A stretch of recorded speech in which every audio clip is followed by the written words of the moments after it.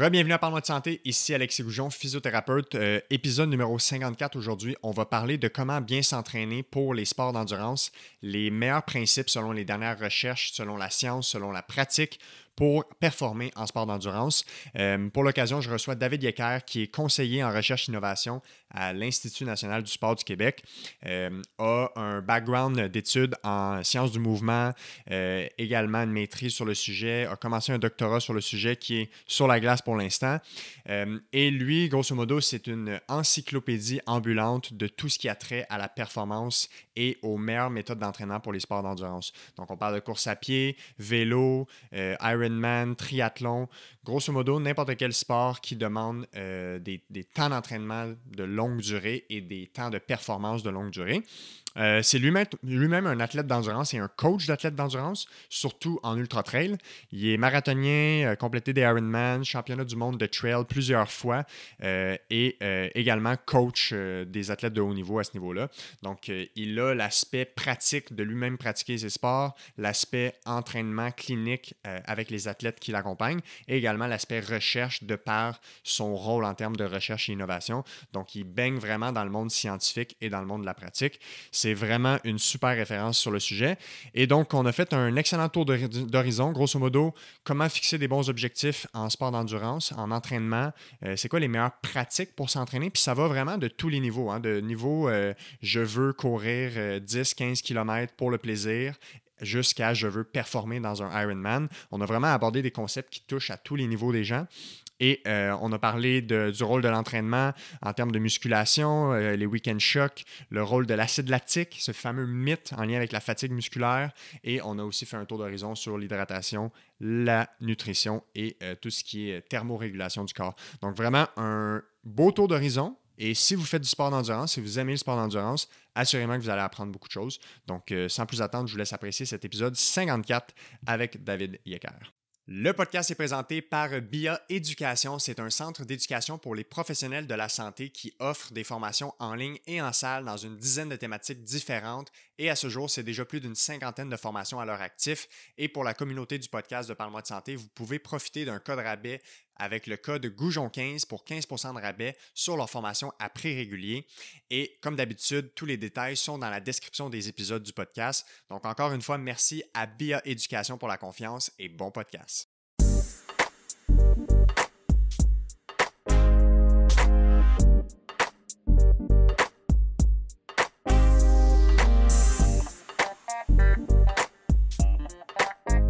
Alright, on est parti. David Yecker, bon matin, comment ça va? Ça va bien, toi? Ça va super bien. On va parler d'un sujet euh, aujourd'hui qui te passionne. Euh, d'abord, merci d'avoir accepté l'invitation.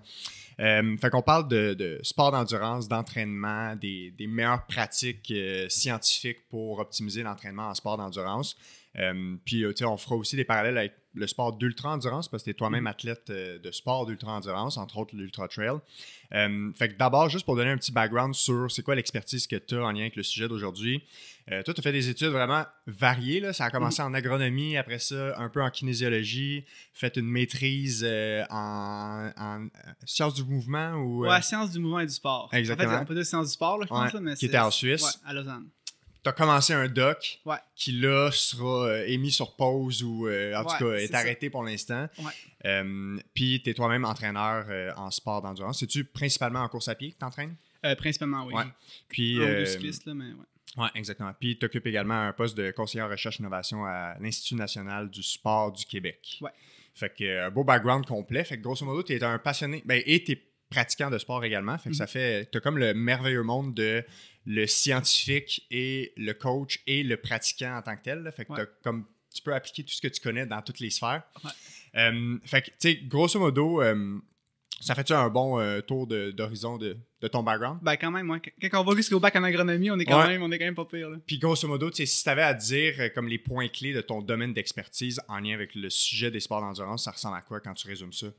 ben tu sais, je pense comme on a vu avec ma, ma, ma maîtrise, c'était plus ultra trail puis euh, altitude, endurance. Mais je pense que mes, mes, ma spécialité, c'est vraiment, je pense, plus tout ce qui était charge d'entraînement puis peut-être planification d'entraînement. Parce qu'en tant qu'entraîneur et scientifique, ben, tu lis beaucoup là-dessus. Puis tu arrives vraiment à appliquer un peu les, euh, tous ces concepts-là. Puis je pense, de plus en plus avec mon travail à l'INS, euh, je travaille surtout sur des projets, en fait, parce que là, je disons que je coordonne plusieurs projets, mais ceux sur lesquels c'est moi qui est vraiment comme le, le lead, si on veut, ben, c'est plus tout ce qui est euh, variabilité de fréquence cardiaque de repos. Ouais. Donc, de pas nécessairement juste s'intéresser à la charge d'entraînement, mais s'intéresser à la réponse à l'entraînement, Ouais. puis de trouver un peu des, des façons de, de- de la quantifier.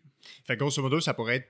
On pourrait résumer ça à prendre ce qui existe dans la littérature scientifique, puis être capable d'appliquer ça pour amener les athlètes à leur plein potentiel, développer Exact. les meilleures méthodes d'entraînement pour finalement avoir la meilleure, euh, les meilleures performances possibles. Exactement, ouais. Fait que si on se plonge là-dedans, puis qu'on on parle de sport d'endurance en général, tu sais, souvent, ces, ces sports-là sont comme planifiés annuellement, là, tu sais, dans le sens que les, les gens vont planifier leur entraînement de façon annuelle parce qu'ils vont avoir d'abord la- comme la sélection de leurs événements, puis après ça, tu vas avoir des, des blocs d'entraînement un peu. Euh, grosso modo, là, c'est quoi les concepts clés, avant même de parler de comment on s'entraîne, Mhm. quand tu planifies une année d'entraînement, puis qu'on parle de sport d'endurance, où on va avoir autant des compétitions avec des, des- des compétitions à haut volume d'entraînement euh, ou des compétitions euh, longues là, plutôt.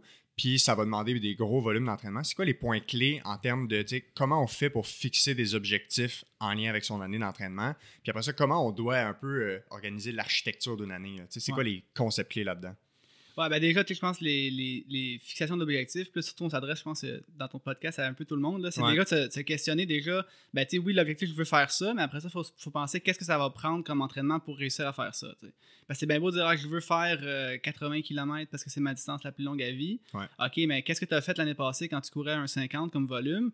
Puis là, si tu penses qu'il faut que tu en fasses un peu plus pour, euh, pour arriver à la ligne d'arrivée avec le sourire, comme on dit, ben Ouais, tu sais, c'est faut, faut que tu te questionnes si tu as le temps de- d'en faire plus. Fait que, tu sais, je pense que des fois, moi, je me dis, au lieu de se fixer l'objectif en, en se disant, ben, qu'est-ce que je veux faire comme compétition, plutôt comment, dans le fond, euh, qu'est-ce que mon entraînement va, va m'amener à, à être bon à, puis après ça, euh, de plus de voir un peu à, à l'envers, sais, voir qu'est-ce que je veux faire à l'entraînement. Ouais, si je fais ça à l'entraînement, ben, quel genre de course je pourrais faire? Là, c'est vraiment dans un contexte un peu plus, tu sais, monsieur, madame, tout le monde, parce que c'est bien beau de dire, ben, je veux faire euh, 100 miles cette année.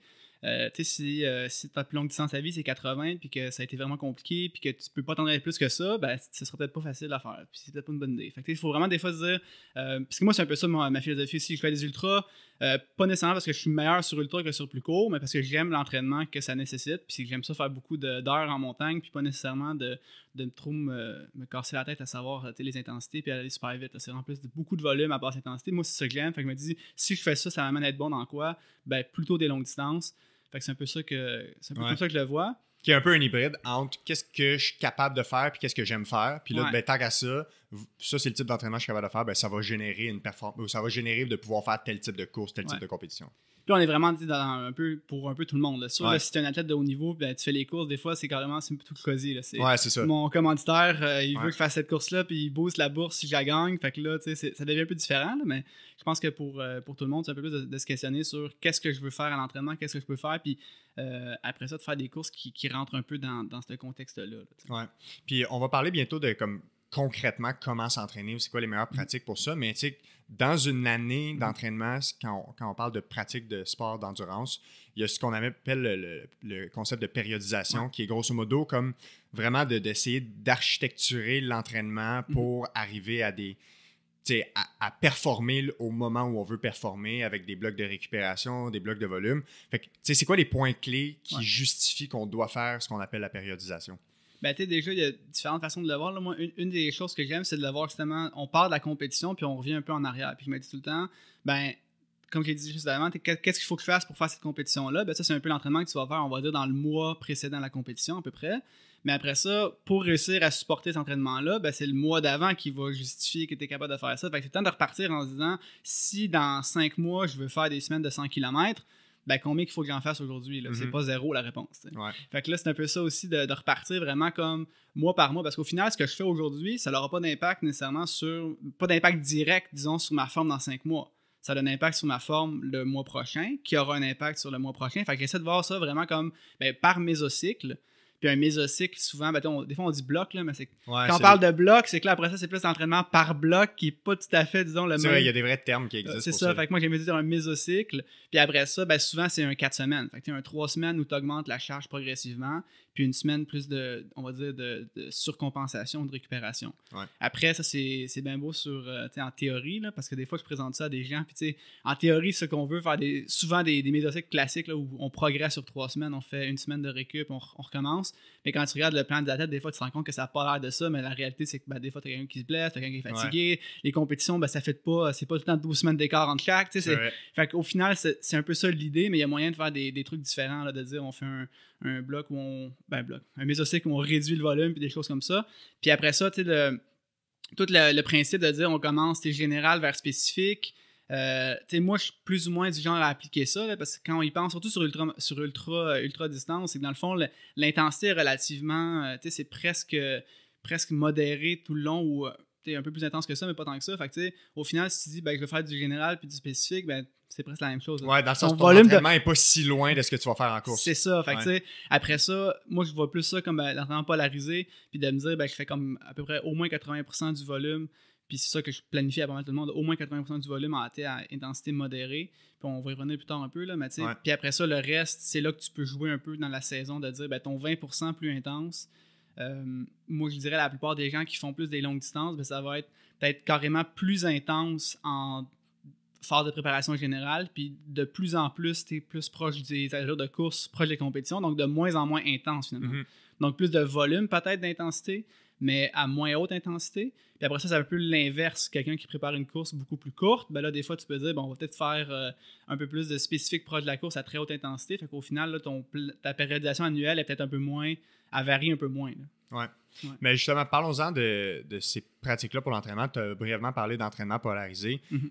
Concrètement, l'entraînement polarisé, c'est le fait de faire du 80-20. C'est ça que c'est, ce concept-là? Ouais, puis après, tu sais, je pense des fois, on, on parle aussi de- d'entraînement pyramidal, des fois, où l'entraînement pyramidal, ben, c'est encore une fois, au lieu de dire on fait 80, ben, c'est 80% aussi d'entraînement à basse intensité, c'est juste que le 20% qui reste, tu vas en avoir une plus grosse partie qui va être, disons, proche du, euh, du seuil, donc du Ouais. deuxième seuil. Fait que, tu sais, au final, même, il y a un des débats là-dessus, puis il y a des articles scientifiques vraiment le fun où il y a carrément eu des échanges euh, sur le, le principe. Mais au final, dans tous les cas, l'espèce de formule de dire on fait la plupart du volume à basse intensité, quand on regarde les athlètes de haut niveau, c'est ça qu'on fait. Puis les athlètes, je pense, euh, récréatifs aussi ont intérêt à faire ça. Après, Ouais. ils font pas tous ça. Il y a beaucoup de monde qui ont l'habitude d'aller tout le temps trop vite. Puis c'est ça qui, qui fait qu'ils progressent peut-être un peu moins puis qu'ils se blessent plus. Mais au final, le, le- sans aller dans pyramidal euh, ou euh, polarisé, le principe de dire la majorité du volume doit être à intensité modérée, donc en bas du premier seuil. Là, je sais pas Ouais, on va, ben, on va les Ouais. définir. Ben, on, Ouais. peut, on pourrait les définir tout de suite. Ça se peut que. Ouais, parlons-en. Parlons des seuils, comme ça, ça va permettre aux gens de savoir, comme quand on parle de zone 1, zone 2, etc., Mhm. où est-ce qu'on est là-dedans. Ouais, c'est ça. Dans le fond, tout ce qui est. Là, on dit intensité euh, modérée, mais ça peut être faible à modérée. Donc, tout ce qui est en bas du premier seuil. Puis là, que ce soit le seuil ventilatoire ou le seuil lactique pour le premier, c'est vraiment pas mal la même chose. Puis dans le fond, jusqu'à cette intensité-là, ben, on peut dire que d'un point de vue, disons, lactate, ça va vraiment être stable. Donc, même si euh, que je cours, par exemple, dans mon cas, à, on va dire, 6 minutes du kilomètre ou 5 minutes du kilomètre, il n'y a aucune différence au niveau du lactate. C'est Ouais. vraiment stable, même jusqu'à 4 minutes du kilomètre dans mon cas. Il n'y a, pas de- il y a pratiquement pas de stress. Puis ça, c'est quelque Ouais. chose aussi qui est intéressant. Il y a des études là-dessus avec euh, tu sais, Stéphane Saylor, qui est un, un spécialiste justement de, de la, de la périodisation d'entraînement. Puis il montre aussi que, dans le fond, tant que tu es en bas de ce premier seuil-là, ben, il n'y a pas non plus un stress au niveau du système nerveux. là. Ouais, c'est ça. Je pense que ça, c'est vraiment le- la clé un peu de tout ça, parce que souvent, quand on vulgarise des fois le, le principe d'entraînement polarisé, on dit si tu cours moins vite, tu auras plus d'énergie pour les intervalles, puis c'est là que tu vas progresser. Mais c'est beaucoup plus que ça. là. Il n'y a pas juste de dire ah ben je cours moins vite, fait que les journées où je vais vite, ben je peux aller plus vite. Oui, mais c'est pas juste une question de t'es plus, euh, t'es plus frais. là. C'est aussi quand, vraiment au niveau du système nerveux, au niveau de quand tu es vraiment à basse intensité, tu recrutes principalement tes fibres musculaires lentes. Ça Ouais. des adaptations avec ça. Euh, capillarisation musculaire. Il y a plein de choses que tu vas vraiment travailler quand tu cours lentement. Puis c'est pas juste de dire Ah, mais si j'ai pas le temps. Parce que oui, tu peux en faire plus. Oui, si tu cours plus lentement, tu peux en faire plus de volume. Mais quelqu'un qui n'a pas le temps d'en faire plus, c'est quand même bénéfique pour lui de dire si j'ai juste 4 heures dans ma semaine, ben les 3 heures au moins que je fais à basse intensité, il faut quand même qu'il soit vraiment idéalement en bas du premier seuil. Sinon, à chaque fois que tu cours, c'est un stress. Puis concrètement, ce premier seuil-là, tu dit, on l'appelle. Il y a deux noms pour ce seuil-là? Ben, c'est qu'en fait, d'un point de vue, il y a le seuil lactique. Euh, on dit souvent seuil aérobie. Ouais, c'est ça. Fait que je pense que c'est ça qui regroupe un peu les deux. Ouais. Puis après ça, ben, tu as le seuil ventilatoire puis le seuil lactique qui sont euh, finalement qui correspondent au seuil, au premier seuil qui serait le seuil aérobie. là. OK. Puis ce seuil-là, com- comme physiologiquement, ça veut dire quoi? Ou c'est- comment on le définit? Ben, c'est ça. C'est quoi qui se passe comme intérieurement là, qui fait qu'à partir de ce seuil-là, il y a quelque chose qui change? Ouais, ben, c'est ça. Comme avec le lactate, c'est vraiment la première augmentation au-dessus de, de la, disons, des valeurs de base. Ouais. Puis, ce qu'on. Encore une fois, si on revient vraiment au muscle, parce que moi, c'est toujours de ça que j'aime partir, ben, c'est- on pourrait dire que c'est un peu l'intensité à laquelle tu commences à recruter significativement plus de fibres musculaires rapides. OK. Mais ton lactate va quand même se restabiliser. Là. Fait au final, euh, ça correspond un peu à l'intensité où tu vas commencer à brûler peut-être un peu moins de gras, où tu vas commencer à consommer plus de glycogène, etc. C'est vraiment le premier élément où il y a comme euh, tu sors de ton état vraiment comme stable de, de repos. Ouais. Puis Au niveau ventilatoire, tu vois un peu la même chose. C'est là qu'il y a comme une, une espèce de- de- d'augmentation de la. de ton rythme respiratoire.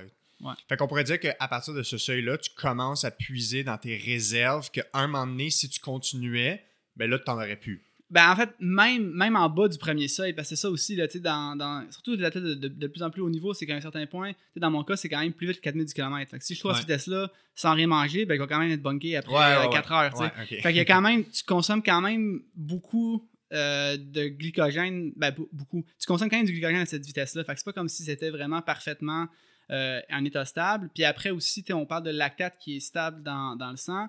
Ben, c'est toujours la- le résultat de la, de la production de lactate moins l'élimination. Ouais. Fait que ça veut pas dire que même si c'est stable dans ton sang, que à tes 4010 kg, euh, t'en produis quand même sûrement plus qu'à 3 minutes, euh, qu'à 5010 kg. Tu vas plus Ouais. vite, t'en produis un peu plus, mais tes fibres musculaires lentes sont capables de fournir pour le réutiliser. C'est ça, il y a un équilibre Il y a un équilibre. dans l'utilisation puis la, la- Ouais. la régénération, si on voudrait dire. Mhm. Puis là, si on rentre dans les technicalités, si tu passes ton premier seuil, tu es quand même capable de réatteindre un équilibre. Ouais. C'est juste que cet équilibre-là va être plus haut que ta ligne de base.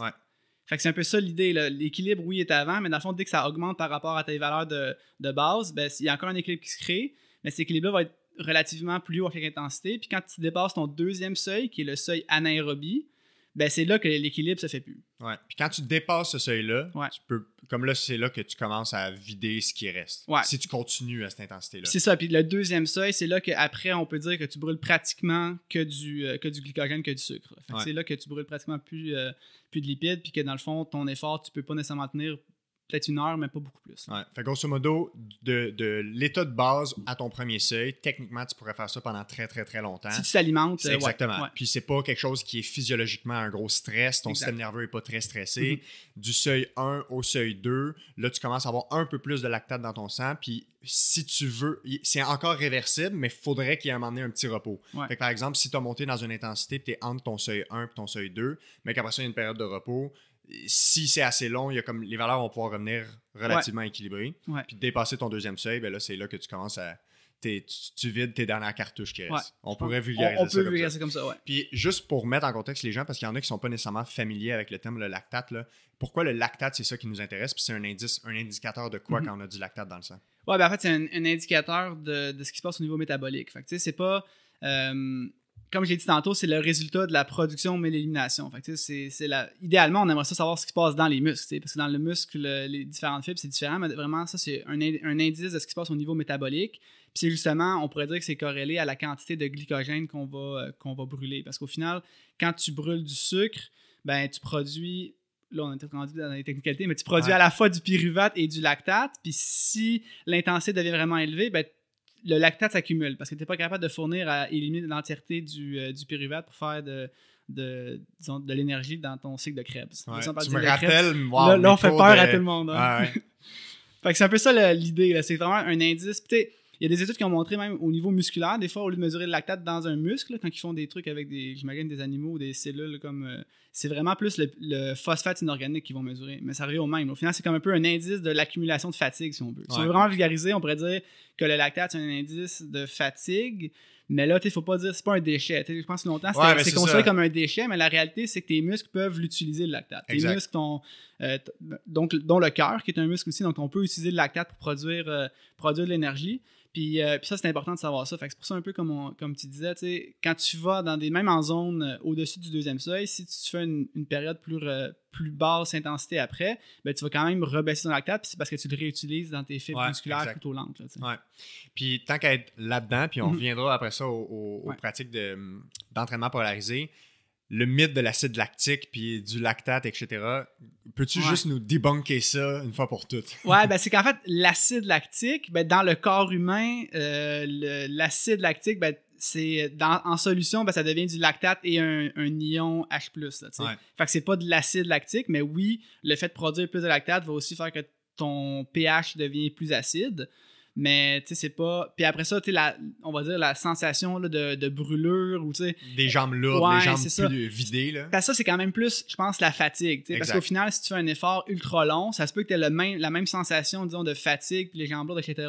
Mais ça se peut qu'en mesurant ton lactate, ce soit pas si élevé que ça, finalement. tu sais. Ouais. Fait que, tu sais, oui, euh, c'est c'est un peu la, la sensation de fatigue. Il y a des bonnes chances que ce soit corrélé avec ton lactate, mais il y a quand même des exceptions à ça. Fait que c'est pas, c'est pas genre euh, tes jambes lourdes, c'est pas juste Ouais. ton. euh, l'acidité de tes muscles, c'est aussi, je pense, la perception puis ton cerveau qui te dit. Ouais. ben, ben, fait que c'est c'est pas une là. bonne représentation de la réalité de dire ça fait deux heures que je cours, là, il y a une montée, mes jambes sont lourdes, ça brûle, j'ai les jambes pleines d'acide lactique. là. Je pense que le, le- le bon exemple La pour fatigue, ça, c'est réellement ça, c'est quand tu vois un 800 mètres. Tu sais, un Ouais, 800 ouais. mètres, le, le bon pacing pour un 800 mètres, c'est de partir vite puis de pas trop casser. Mais au Ouais. final, tu ralentis quand même. Puis Mhm. c'est ça, c'est là que tu vois quand carrément les coureurs ont l'air de courir un peu au ralenti puis qu'ils sont presque de, la coordination est moins bonne. Ça, c'est vraiment l'acidité dans le muscle. Mhm. Ça, c'est vraiment là. Là, on pourrait le dire, ça, il est dans l'acide. Fait qu'on pourrait dire c'est comme le, le niveau de fatigue musculaire extrême. C'est ça, mais vraiment, comme tu dis, musculaire. Ouais. Alors que de la fatigue, mettons, physiologique, plutôt sur un effort su- super long où, tu sais, peut-être que tu n'as pas mangé assez ou même en mangeant assez, il y a- il y, a comme des limites aux, aux réserves énergétiques qu'on a. Ouais. Ben là, tu vas aussi sentir vraiment de la fatigue dans tes jambes, mais c'est pas le même. Ton lactate n'est pas, euh, est pas à 15 millimol par litre. Tu n'es Ouais, pas, ouais. pas vraiment, vraiment super élevé en, en lactate. là. Fait que là, maintenant, quand les gens ont ces concepts-là, c'est quoi qui justifie. En fait, on, on comprend pourquoi ça justifie le fait de faire 80% à basse intensité, puis 20% à intensité plus élevée. Ouais, ben on comprend. En fait, c'est quand même pas évident, en fait, de- juste à partir du lactate, là, c'est quand même de dire, oui, en bas, tu crées, euh, tu crées un stress, mais tu toujours la, la- la question, ouais, mais si, euh, si je récupère bien, si je mange bien, pourquoi ne pas faire des intervalles en zone euh, maximale tous les jours, là. Ouais. Fait qu'il y a aussi, je pense, l'aspect qui est intéressant à, à voir là-dessus, c'est ce que certains ont amené, c'est vraiment d'aller voir au niveau du système nerveux aussi ce qui se passe. tu sais. Puis le, le fait de rester dans tes zones qui sont en bas de ton premier, euh, de ton premier seuil, ben c'est aussi là que non seulement tu crées pas un stress, mais même tu vas même plutôt activer le système parasympathique.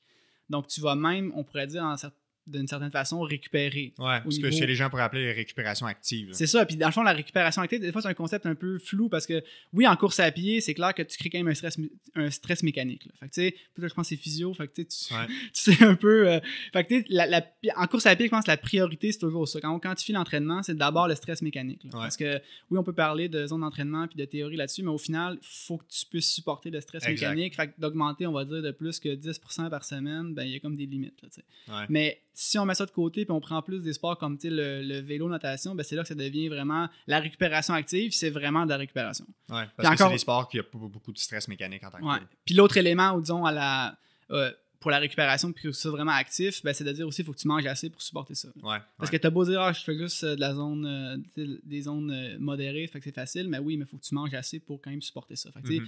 Une fois que tu as mis de côté l'aspect, disons, mécanique puis l'aspect nutritionnel, ben après ça, au niveau vraiment du système nerveux, d'être en bas de ce premier seuil-là, ben ça te permet même d'augmenter, si on veut, ton, euh, ta stimulation parasympathique, donc ton système nerveux, si on le mesure avec, par exemple, la variété de fréquence cardiaque de repos, ben, théoriquement, de courir à des intensités modérées, ça va augmenter ta VFC. Puis de, dès que tu es au-dessus de ton premier seuil, pour les athlètes, disons, euh, disons récréatifs, dès que tu es au-dessus de ton premier seuil, ça peut causer un stress. Puis concrètement, là, la variabilité de la fréquence cardiaque de repos, qu'est-ce que c'est? Ouais, ben c'est dans le fond un indice de la du de l'action de ton système nerveux autonome sur le rythme cardiaque.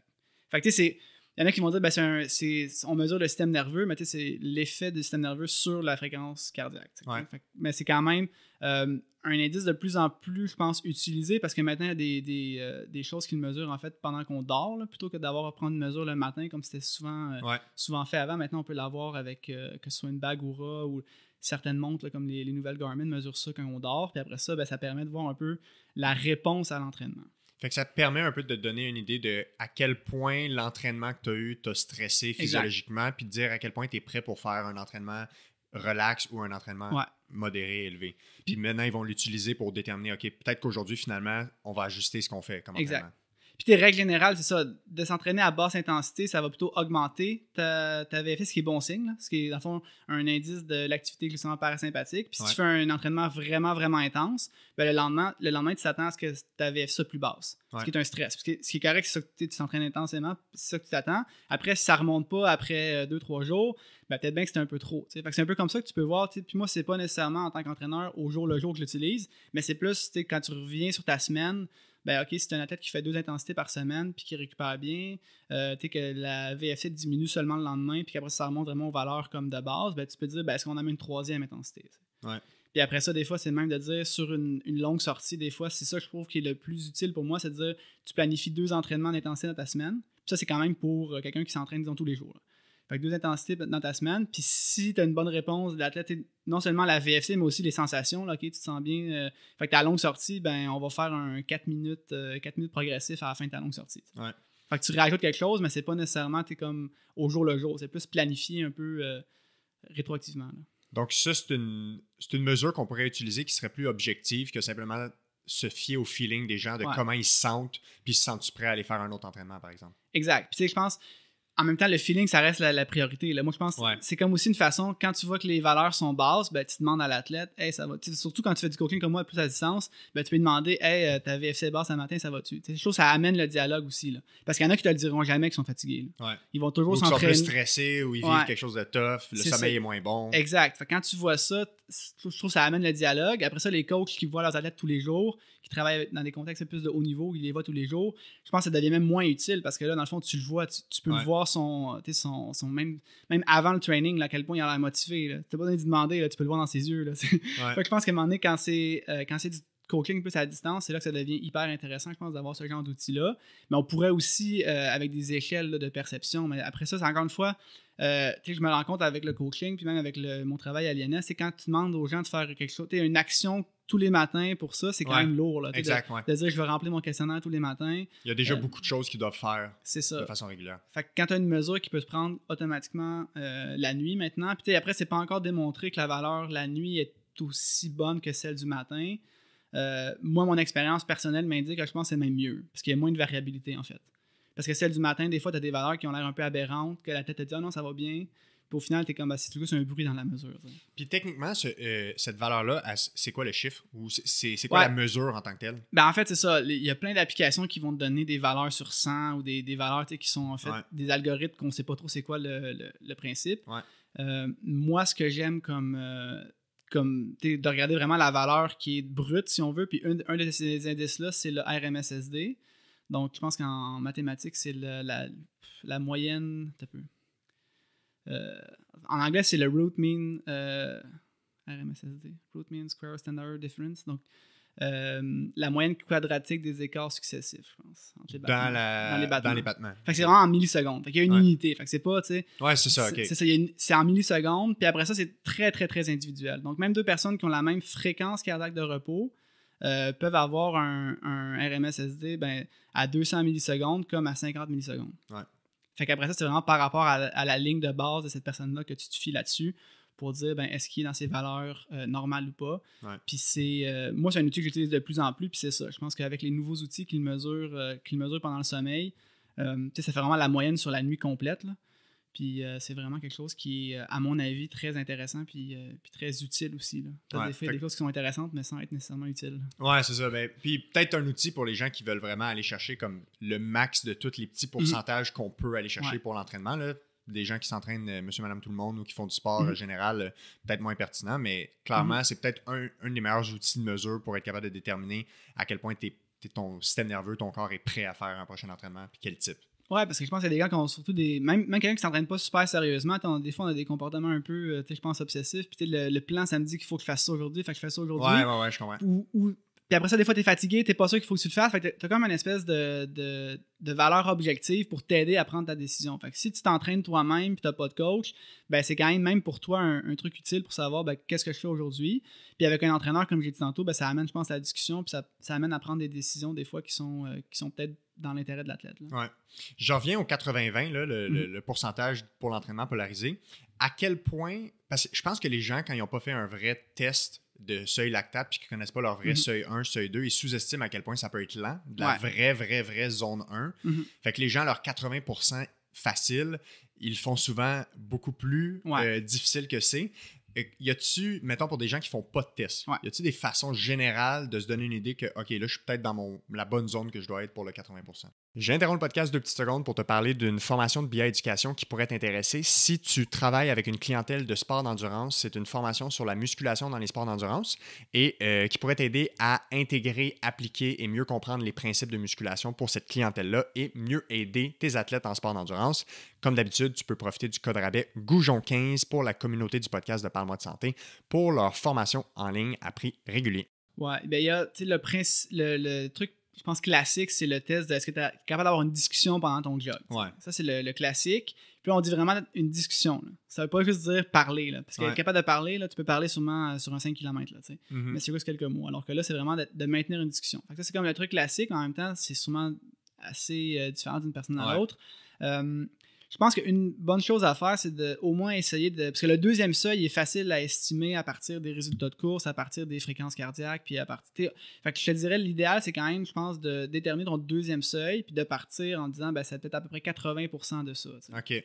Fait que je pense que c'est ça qui est, qui est idéal. Puis le deuxième seuil, comme on dit que c'est quelque chose qu'on peut tenir environ une heure, ben, si quelqu'un fait euh, une course d'environ une heure, quelqu'un de très rapide, ce serait un demi-marathon, puis la plupart du monde, ça peut être un 10 km, Ouais. ben, cette, cette intensité-là en fréquence cardiaque puis en pace, ben, c'est à peu près ton deuxième seuil. Fait que pour ces gens-là, s'il y avait un temps de référence de demi-marathon ou mettons un 10 kilos sur une heure, Ouais, fait que euh, s- ils se- ils seraient capables de dire bon, si je veux faire ma zone 1, ben c'est 80% de cette Ouais. pace-là. Exact. Ou de fréquence cardiaque si on le monte. Ouais. Puis là, tu dis zone 1, mais ça, c'est zone 1 quand tu as trois zones. tu sais. Ouais, c'est ça, exact. Sinon, c'est zone 1-2 combiné. Ouais, c'est ça, quand tu es sur 5 zones. Fait que c'est- Moi, en fait, le, le système à 3 zones, je trouve que c'est génial parce que ça simplifie tout. Ouais. Mais en même temps, on aurait peut-être dû appeler ça ABC. Ouais, je comprends. Ah ouais, effectivement. Juste pour pas qu'on se mêle. Puis en plus, ABC, tu peux dire aerobic, between, puis en capacité. Tu peux mettre des, tu peux mettre des, des mots en plus sur Ouais. les, les lettres, mais il n'y a pas personne qui Fait si on est à trois zones, zone 1, tu peux faire ça très longtemps si tu manges un peu. Ouais. Zone 2, tu es capable de faire ça une heure. Euh, Ouais, je- ben, je- ouais, euh, même plus qu'une heure. là, Ah, c'est- ok, plus une heure, ouais. Parce qu'en fait, une heure, c'est c'est 3. ton deuxième seuil. Fait que ton, Ouais. ta, ta zone 2, euh, tu es sur un ultra de, 5, euh, de 50 km, donc de 5 heures environ pour moi, ben, je vais être en zone 3 tout le long pratiquement. Ouais. Fait que tu peux quand même, mais là, il faut que tu t'alimentes énormément. Il faut ça. vraiment que tu sois. Tu sur un jour de course, tu es, frais et tout. Là. Fait que, euh, parce que des fois, le, le premier seuil, il y en a qui vont dire que c'est environ 5 heures qu'on peut le tenir. Là. C'est, je pense, plus que ça. Là, mais Mhm. c'est vraiment. Ça dépend de plein d'autres facteurs après. Là. Mais, mais c'est ça. Puis, euh, ouais. Grosso modo, Ouais. les gens, ils sont souvent beaucoup plus vite que ce qu'ils devraient être s'ils veulent faire leur 80% de, de, de volume. là. Ben, c'est Ben, ça, c'est ça, déjà, ton, l'allure marathon, c'est clairement entre les deux seuils. là, même des fois proche du deuxième seuil là, pour les, les gens qui sont bien entraînés. Ouais. Fait qu'après ça, des fois, il y a des gens qui vont carrément, euh, la plupart de leurs jogs sont presque à leur pace marathon. là. Ça fait aucun sens. ça. Ouais, ouais, ouais. Fait que là, des fois, déjà là, c'est comme un indice que ok, tu vas, tu vas trop vite. Puis tu le vois assez vite quand tu coaches quelqu'un, même sans avoir fait un test avec eux. Euh, quand tu as des intervalles, si l'intensité entre les intervalles puis les- le, le warm-up puis le cool-down, il n'y a pas une grosse différence, puis que la fréquence cardiaque, si sur le graphique, tu as de la misère à voir sur les intervalles, c'est clair qu'il court tout le temps trop Ouais, vite. là, ok, t'sais. je comprends. ouais, c'est vrai, il n'y a Ouais. pas de variabilité. C'est ça. Fait faut vraiment. Puis, tu sais, c'est- c'est pas évident pour le monde de comprendre ça, de dire, ben, je prépare un marathon ou je veux courir mon marathon à, à, à telle pace, puis là, je vais jogger euh, plus qu'une minute euh, du kilomètre plus lent à chaque fois. Tu sais, comment je vais être capable de courir 42 km plus vite que ça? Ouais. Ben, la réalité, c'est ça marche. Ouais, mais c'est ça, dans le Faut fond, y croire, les, gens pensent que pour aller, pour être capable d'augmenter leur vitesse de base, faut Mhm. faire le plus souvent de l'entraînement à haute vitesse ou en intervalle.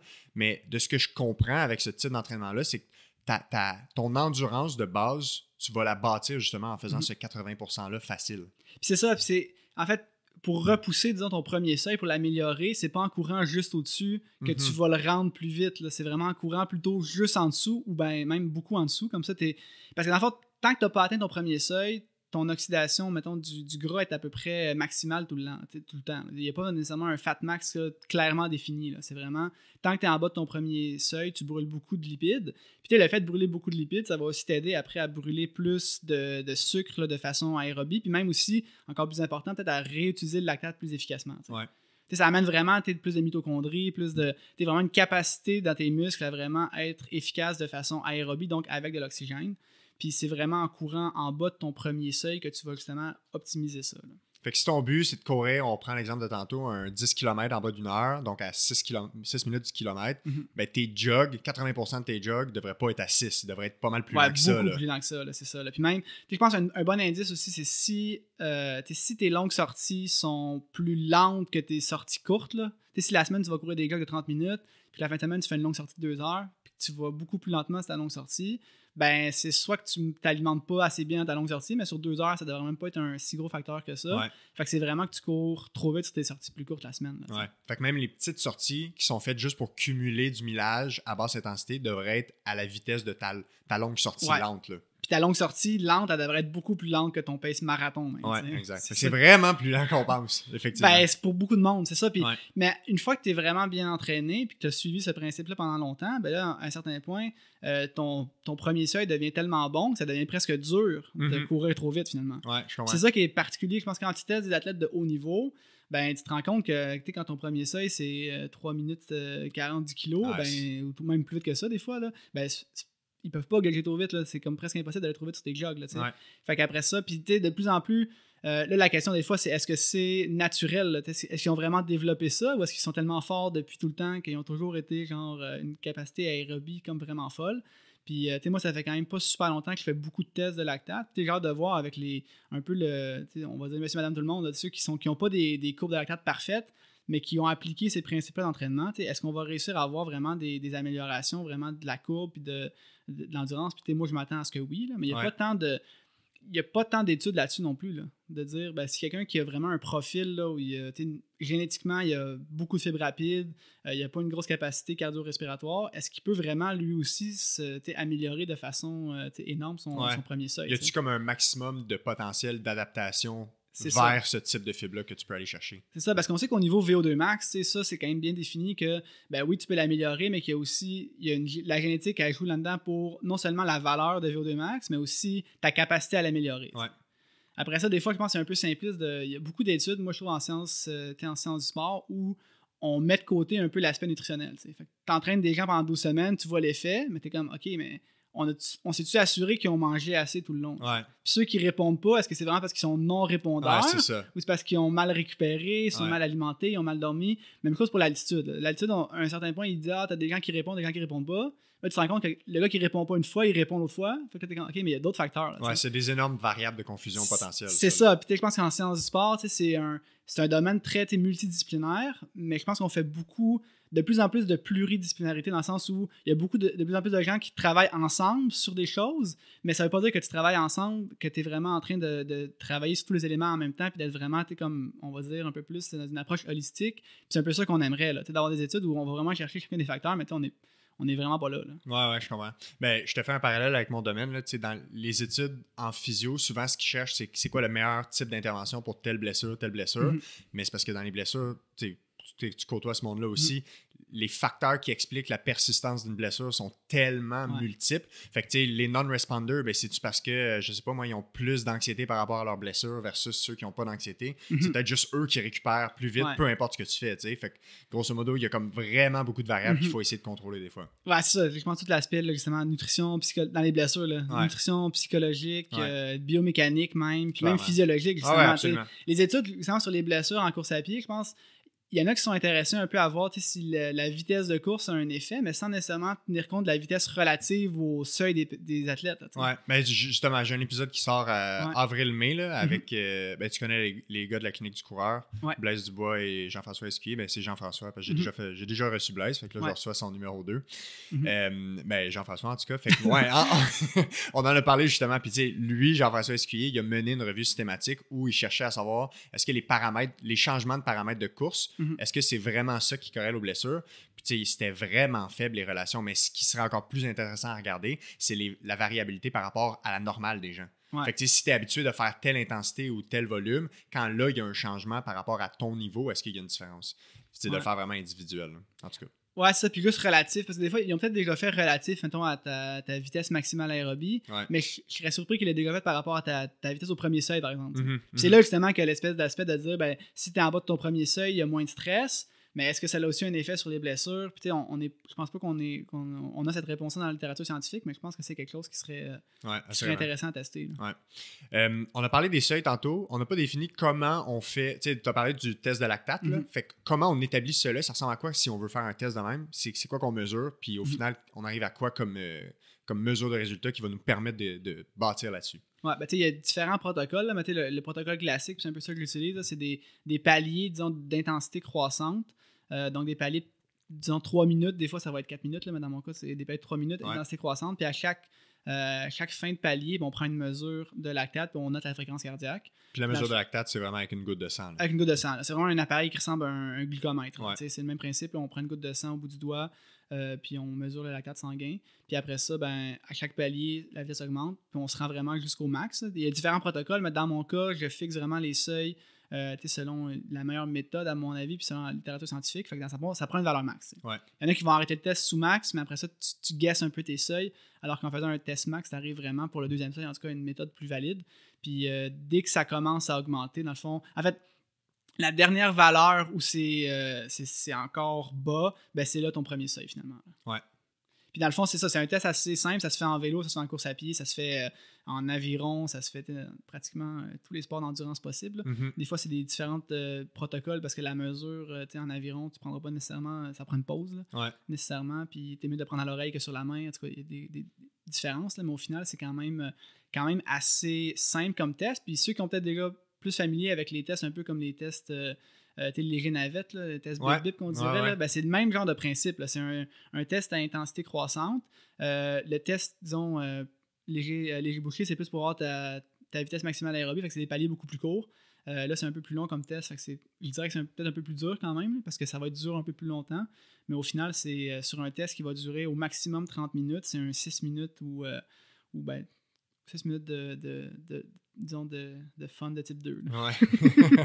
Puis à quel point c'est transférable? Tu sais, mettons, tu peux pas faire ça, euh, tu peux pas faire un test pour le ski de fond. Tu sais, mettons, moi, je fais de la compétition de ski de fond. Fait que si tu fais un test en course à pied, euh, à quel point ça peut être transférable après ça dans les mêmes zones pour le ski de fond? Puis peut-être qu'il y a une variation dépendamment si la personne fait un peu de course versus fait pas de course. Parce Ouais. qu'il y a un aspect de stress mécanique habitué ou Mhm. non, là. Mais ce qu'on fait avec euh, ce qui te font, en tout cas, moi, avec les athlètes de biathlon, ce qu'on fait, c'est qu'on met une pente de 4% OK. Fait qu'au final, au niveau fréquence cardiaque, même quelqu'un, un, un skieur de fond qui ferait beaucoup de courses à pied, tu pourrais faire un test à plat, puis tu aurais sûrement des bonnes zones. Ouais. Mais après, nous, ce qu'on fait, c'est qu'on essaie de mettre une, une pente pour que justement les, les gens qui courent moins bien, ben, ils vont quand même être capables d'aller à leur max finalement. Puis avec Ouais. ça, tu es quand même capable d'avoir des, euh, des ondes de fréquence cardiaque. Puis ça, c'est quand même. Il y a des études là-dessus là, qui montrent que la fréquence cardiaque en, en course à pied puis en ski de fond, c'est quand même assez bien transférable. là. OK. OK. Bon, parfait. Mais c'est sûrement pas. L'idéal, c'est de le faire en ski de fond, mais là, ça prend un tapis roulant euh, vraiment spécial. Ouais, Mais c'est ça ça. existe, Les. Norvégiens, ont ça, là. Ouais, puis je pense qu'il y en a- aussi, je pense à la Canmore ou quelque chose Ouais, comme ça. là, ça, exact. Dans l'Ouest. ouais. Ouais, parce qu'idéalement, tu le fais dans le même sport parce que ça réplique exactement l'utilisation musculaire et le, Ouais. même, le même type de mouvement. Mais après, tu sais, on- je pense que l'idéal, c'est vraiment de le faire peut-être dans une côte dehors. là. Ouais, ouais. Mais parce que t'es même sur un t'es ski roue euh, sur un tapis ou je sais pas comment ils font les tests. là, Ouais, mais- ils font en ski à roulette. Ouais, c'est ça. Fait que je me dis, idéalement, tu pourrais le faire dehors. Mais là, le problème, tu sais, moi, j'ai déjà fait des tests dehors sur des cyclistes, là, puis ça se fait quand même assez bien. Là, mais c'est tout le temps que tu as plus de récup dans la, dans la redescente de la côte. Là. Ouais. Fait que là, ça fait des paliers, évidemment, encore plus longs. Puis là, en ski de fond, faut, quand il faut que tu trouves des, des côtes d'au moins 4 minutes, euh, ça devient quand même plus compliqué, mais ce serait Ouais. tout à fait possible de faire ça aussi. Là. Ouais. OK, cool. Puis quand on parle de hum, le concept de charge d'entraînement en général, euh, il y a comme plusieurs. euh, tu sais, les montres, ils donnent souvent des mesures là, Mhm. sur la charge d'entraînement, puis je sais pas à quel point c'est des bonnes mesures ou non. Mais grosso modo, c'est quoi qu'on entend par le concept de charge d'entraînement, puis c'est quoi la façon de mesurer ça, et comment ça c'est utile pour l'entraînement ou pour la planification d'entraînement. Ben, il y a plusieurs façons de le mesurer. là. Puis je pense, une des méthodes, disons, les plus simples, c'est vraiment de prendre la perception de l'effort puis la durée des séances. OK, ouais. Fait que si tu prends la perception d'effort sur une échelle de 1 à 10, multiplié par la, la durée de la séance en minutes, ben tu as ton, ton RPE séance, dans le fond, ta, ta perception par rapport à la durée de la séance. Puis si tu fais euh, le ratio entre la moyenne, disons, des 7 derniers jours, qui est la charge d'entraînement aiguë, sur celle, avec la RPE, souvent c'est sur un mois. Fait que si tu prends celle sur 4 semaines, qui est ta charge d'entraînement euh, chronique, Ouais. si tu fais le ratio entre les deux, tu as ta charge d'entraînement, euh, dans le fond, tu as ton, T'as ton ton ratio. ratio aigu chronique. Puis dans le fond, je pense qu'en termes de, de blessures sportives, si c'est au-dessus de 1.5, ben, il y a un gros danger. Là, t'sais. Fait que ça, c'est comme le, le- vraiment la, la méthode la plus de base, puis utilisée quand même beaucoup en sport, euh, tout ce qui est les sports, sport d'équipe, pas mal, soccer, ces choses-là. Ouais. Puis c'est quand même surprenamment valide. Puis donc, si on a 1.5, la façon d'interpréter ça, c'est que ta, la, la charge d'entraînement dans tes derniers 7 jours ne doit pas être plus que 50% plus élevée que Que ta charge d'entraînement du dernier mois. Exactement. Puis si t'es à 1, ben t'es à l'équilibre. Ouais. Puis si t'es en bas de 1, ben t'es théoriquement très frais. Après, je suis pas tant familier, fait que je pourrais même pas dire c'est quoi la valeur optimale. Puis je pense que les études ont, ont beaucoup regardé ça au niveau en blessure. C'est-à-dire, c'est quoi les Mhm. valeurs qui font que tu te blesses ou pas. Après ça, dans les, je pense, euh, si on regarde plus les, les outils, je pense Training Peaks, euh, Strava même, euh, des fois, c'est pas les mêmes termes parce qu'il y a des, des copyrights sur les termes, mais au Ouais. final, eux, ce qu'ils font plutôt, c'est de prendre la charge d'entraînement par rapport au seuil de l'athlète. Puis là, on est vraiment sur le deuxième seuil. Puis là, ça, ça prend pas un test là, si tu as déterminé encore une fois, ton, par exemple, en vélo, ton FTP. euh, en course à pied, c'est ton allure au, euh, au deuxième seuil. Comme on l'a dit plus tôt, c'est ton pace 10 ou demi là, selon, euh, selon Ouais. ton niveau. Ben, à partir de là, de dire, ben, tu prends la charge d'entraînement par rapport à ça sur une séance. Puis le- la référence, un peu, c'est de dire si tu fais une heure au seuil, c'est 100. OK. Au seuil. ton TSS, ton, ton- ton Training Stress Score, ça va être 100. Puis là, je dis Training Stress Score, mais je pense que Strava utilise, il utilise pas ce terme-là parce que je pense que c'est protégé, là, mais au final, c'est. Ouais, Ça, c'est le seuil 2, là. Deuxième Ouais. seuil. c'est ça. Fait que si tu une fais heure une heure au seuil, c'est 100. Ouais. Après ça, si tu fais deux heures easy, ça peut être 150. là. Ouais. Puis c'est. Ça, ça fait quand même du sens. Je dirais ce, ce genre de, de système-là. Euh, D'ailleurs, si tu fais des corrélations entre ça puis la charge chronique avec euh, un ratio, ça revient au même. là. Ouais. Fait que c'est le même principe. là. Tu prends ta charge d'entraînement, disons, aiguë, c'est les sept derniers jours. Euh, souvent, là, ce qu'on fait, c'est de faire une moyenne, disons, euh, classique. On fait une moyenne pondérée. Donc, ce que tu as fait hier va peser plus dans la balance que ce que tu as fait il y a six jours. OK, ouais. Ce qui fait quand même du sens. Là. Parce que c'est plus proche de la réalité, Exact. ça vient d'arriver. C'est la même chose pour le, la charge chronique. Au lieu de prendre les derniers 28 jours, souvent c'est 42 jours, mais encore une fois, c'est pondéré. Fait que ce que tu as fait il y a 20 jours pèse plus dans la balance que ce que tu as fait il y a, euh, il y a 30, 30 jours, jours. mettons. Ouais.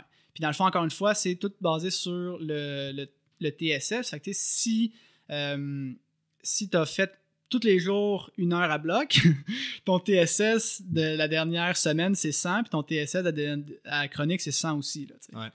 TSS, c'est Training Stress Score? Dit. donc le, le score de stress d'entraînement, si en français. ouais. Parce que ah, dans la littérature, c'est-tu le, le, le, le ratio, s'ils appellent ça le acute to chronic workload ou quelque chose comme ça? Là? Acute Chronic Workload Ratio. Ouais, c'est ça. OK. fait ACWR, ouais. OK, ouais. Parce que je l'avais vu beaucoup dans les études de blessures en course à pied. C'est ça. que tel. Ça, c'est vraiment un ratio, alors qu'avec le, le TSS, là, dans le fond, quand tu prends chronique sur 42 jours, c'est ton, ta charge d'entraînement chronique qui est dans, sur Training Peaks, ton CTL. Puis je pense que sur Strava, ils appellent ça fitness. C'est la même chose. Dans le fond, c'est Ouais, logique ouais. un peu. C'est le principe de l'entraînement, c'est de dire ben, ce que tu as fait à long terme, c'est ton niveau de forme, Ouais. ben, ton fitness. À court terme, c'est ta fatigue. Fait que si tu prends le dernier 7 jours, c'est ta charge d'entraînement aiguë, mais ça correspond à ta fatigue. Puis si tu prends la, la charge chronique moins la fatigue, ben tu as la balance. Donc Ouais. le TSB, Training Stress Balance, ou la balance de stress d'entraînement. Puis je pense, en anglais, c'est form. Fait que des fois, c'est un peu que Form, Ouais, parce que ça dépend, ils n'utilisent pas les mêmes Ouais, termes. c'est ça. Ouais, ouais, Mais au final, la valeur du jour, puis là, ce qui est le fun, c'est qu'il y a quand même plus, je pense, de, de références. Puis on sait que, idéalement, pour une performance, tu voudrais être entre 15 et 25. Mais dans le fond, dès que tu es positif, c'est- c'est déjà mieux que, que négatif, finalement. Ouais. Fait que si c'est une course qui n'est pas trop importante pour toi, d'être à un TSB de 3 ou 4, t'es fine. là.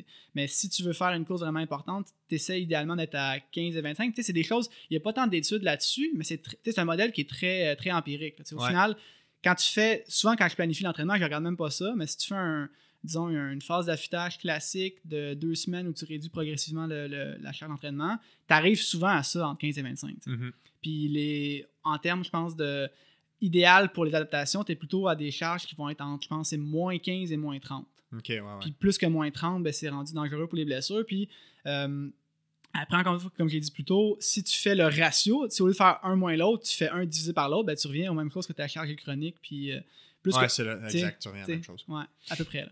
Parce que, me semble, en tout cas, moi, me semble, ma montre, là, elle me donne des. Tu sais, quand il y a comme une, une window charge d'entraînement, me semble, on est dans les 300-400. là. C'est quoi la. Ah, ça, je sais pas c'est quoi les. C'est ça qui est un peu frustrant quand on sait pas Ouais, c'est quoi les. euh, c'est une Garmin, toi Non, c'est une Coros. Mais tu vois, fait que t'as comme niveau de fatigue, ça- charge sur 7 jours, 691. Mhm. Aucune idée c'est quoi. Ben, ça se peut que ce soit ton euh, TSS, mais additionné. Donc, c'est pas la moyenne des 7 jours, mais c'est la ouais, ouais. somme des 7 jours, peut-être? Ouais, ça se peut très bien. sais. Fait que c'est ça, c'est c'est ça qui est un peu quand on sait pas c'est quoi l'algorithme de ces outils-là, c'est frustrant un peu. Fait que c'est pour ça que moi j'aime ça me dire quand- c'est des trucs simples, mais pas nécessairement simple, une, une moyenne euh, pondérée exponentielle, c'est pas Ouais. simple, mais tu sais que c'est ça, Fait que tu- on sait de quoi on parle alors que Mais faudrait- il aurait fallu, fa- faudrait que je fasse la mesure avec la, la perception de l'effort fois la durée, effectivement. Parce que là, genre, en plus, je ressors dans une, d'une semaine de, de genre au volume, fait que c'est peut-être, c'est clairement pas représentatif de ce que j'ai fait du reste de l'hiver. Ouais, fait que c'est ça, mais c'est quand même des ça se peut qu'elle donne aussi ta charge chronique là, que c'est Ouais, quoi là, probablement, faudrait que je recheck. Ouais. Puis après ça, même moi, moi, je suis un fan plus de Garmin. Là, je pense Mhm. qu'ils ils ont vraiment des bons produits, mais même eux, là, de plus en plus, il y a tellement d'algorithmes puis de trucs, là, le body battery puis des Ouais. cassins que si tu sais pas sur quoi c'est basé, euh, même la, la- la récupération, là, tu sais. Ouais, on sait que le HRV est inclus là-dedans, mais il tient compte de ta charge d'entraînement. Puis des fois, maman, elle me, dit, elle me dit le matin que ma charge tout est optimale, que je suis, mon readiness est bon, puis il me propose jour de repos. ouais. T'es comme, why? ouais. Ou tu te sens pas nécessairement bien, même s'il dit Ouais, que t'es prêt c'est à ça. faire un entraînement fort. C'est pour ça que moi, j'aime mieux regarder vraiment le HRV en RMSSD, en millisecondes. Ouais. Tu sais c'est quoi l'unité, tu sais comment tu l'as mesuré, c'est la nuit complète, tu c'est comme. c'est- Tu sais de quoi tu regardes. Ouais. Ouais. Mais ce serait quand même pour les gens qui veulent faire une- un calcul relativement simple de calculer à chaque fois juste c'est quoi la perception de l'effort de 0 à 10 pour chaque entraînement. Puis ça, tu peux le, Mhm. le coter là, dans ce travail-là, Ouais. tu peux te le mettre, puis tu peux facilement faire un calcul pour Ouais. te donner une idée de t'es dans quel type de ratio aigu par rapport à chronique. Ouais, puis Strava, je pense, automatiquement calcule aussi une charge d'entraînement. C'est juste qu'il faut que ton seuil, j'imagine, soit ajusté. Ouais. Euh, mais c'est quand même. puis c'est le même principe que Training Peaks. ça. Je Mhm. sais pas les termes exacts, là, mais je pense que c'est fatigue, fitness aussi. Puis Mhm. Sais pas le, le- la balance, l'équilibre le jour. euh, Ouais, c'est quoi, là, mais ça ressemble à ça aussi. là. À quel point euh, c'est important, tu sais, c'est bien beau planifier un entraînement puis de déterminer c'est quoi ton calendrier puis tel jour tu es supposé faire ça. À quel point c'est important d'avoir une certaine flexibilité puis d'être capable de pas d'improviser, mais d'être capable d'être malléable selon nos sensations, ce qui se passe dans notre vie parce que c'est pas tout le monde qui est athlète pro puis qui fait juste ça, tu sais, on travaille, on fait ci, on fait ça. Fait à quel point il faut être capable d'avoir une certaine euh, de sortir de la rigidité extrême par rapport à notre entraînement. Je pense que c'est- hyper important. Là. Puis, même moi, j'offre des plans d'entraînement qui sont plus génériques. Là. Puis ça, c'est quelque chose touché un peu. Parce que tu dis, là, Mhm. tu- Ouais. j'essaie d'avoir beaucoup d'options. Fait que je me dis, ben, il y a du volume, il y en a qui ont plus de volume, d'autres qui ont moins de volume, d'autres qui ont mis de la course avec du vélo. J'essaie d'en avoir tellement d'options qu'au final, ça devient presque personnalisé. Là. Ouais. Mais il reste que, au jour le jour, il faut que tu sois capable de pouvoir changer. Ben, ton mardi, tu peux le faire le mercredi, ce qui est prévu, tu peux skipper un entraînement. Il, il faut se garder, je pense, de, de la marge de manœuvre. Puis même, je me souviens une fois j'avais coaché quelqu'un récemment où tu sais, moi, mes, mes jogs, tu sais, je dirais pas tu fais 50 minutes ou tu fais tant de kilomètres. Tu vas faire entre 40 et 60. Ouais. Ça, je pense que c'est le training que je mets le plus à tout le monde, c'est 40 à 60 minutes endurance zone 2. tu sais. Fait que là, c'est comme le training, comme la, je te dirais, c'est celui que je mets le plus souvent sur les plans. Euh, après ça, ceux qui, sont- qui en font beaucoup plus, ben, ça va être des fois deux fois ça dans la journée, mais tu sais, c'est vraiment comme le classique. Puis, tu sais, c'est 40 à 60 minutes, c'est quand même une, une marge déjà, là. Ouais. Puis souvent de mettre des séances optionnelles aussi. Dans ma semaine, il y a des gens qui aiment ça prendre des, des repos, d'autres moins. Fait que quand c'est un plan qui est générique, ben là, tu mets une, journée optionnelle. Puis quand c'est un athlète, c'est sûr que s'il dit Ah, moi, les journées de repos me font du bien, le vendredi, j'ai pas le temps, tu mets une journée de repos. Mais Ouais. quand il y a plus de flexibilité, ben, tu mets extra, easy, optionnel. tu sais, tu sais. Fait que moi, je pense que c'est quand même ça qui est, qui est important. Puis des fois, même, euh, puis de laisser justement l'athlète choisir un peu plus. là. je pense même en termes de- d'entraînement par intervalle. Euh, pour ça, je le fais moins souvent parce que je trouve que les, les plateformes le permettent un peu moins là, d'avoir des options, mais de pouvoir dire ben, tu fais cette séance-là ou cette séance-là. Tu mets deux séances d'intervalle au choix, puis juste de voir qu'est-ce qu'il choisit de faire. je trouve que ça donne comme des indications sur ce qu'il aime faire, ce qu'il veut faire, puis après ça, tu te poses la question est-ce qu'il fait ça pourquoi il est meilleur ou ce qui va l'aider plus. Puis je pense que tu peux, même avec les optionnels, tu sais, quand tu mets des trucs optionnels puis qui font tous les jogs optionnels, ben là, tu te dis, OK, c'est parce que c'est parce qu'il veut en faire plus?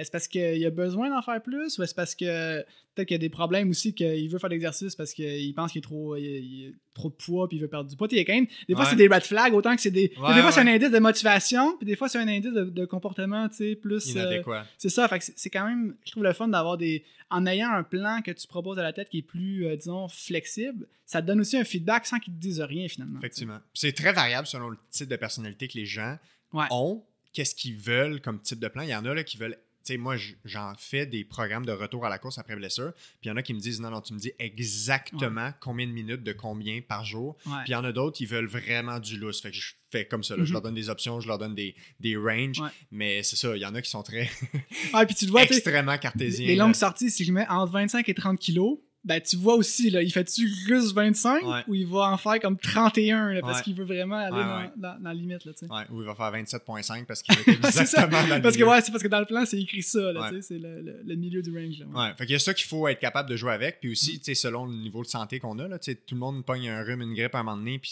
tu peux pas nécessairement continuer ton entraînement puis pousser Mhm. là-dedans. Fait qu'il faut savoir comme être capable de relâcher Mhm. le, le- le gaz un peu des fois. là. Ouais, puis changer la planète, comme on a dit au début, tu un mésocycle classique, tu 4 semaines, tu augmentes la charge, une semaine de récup.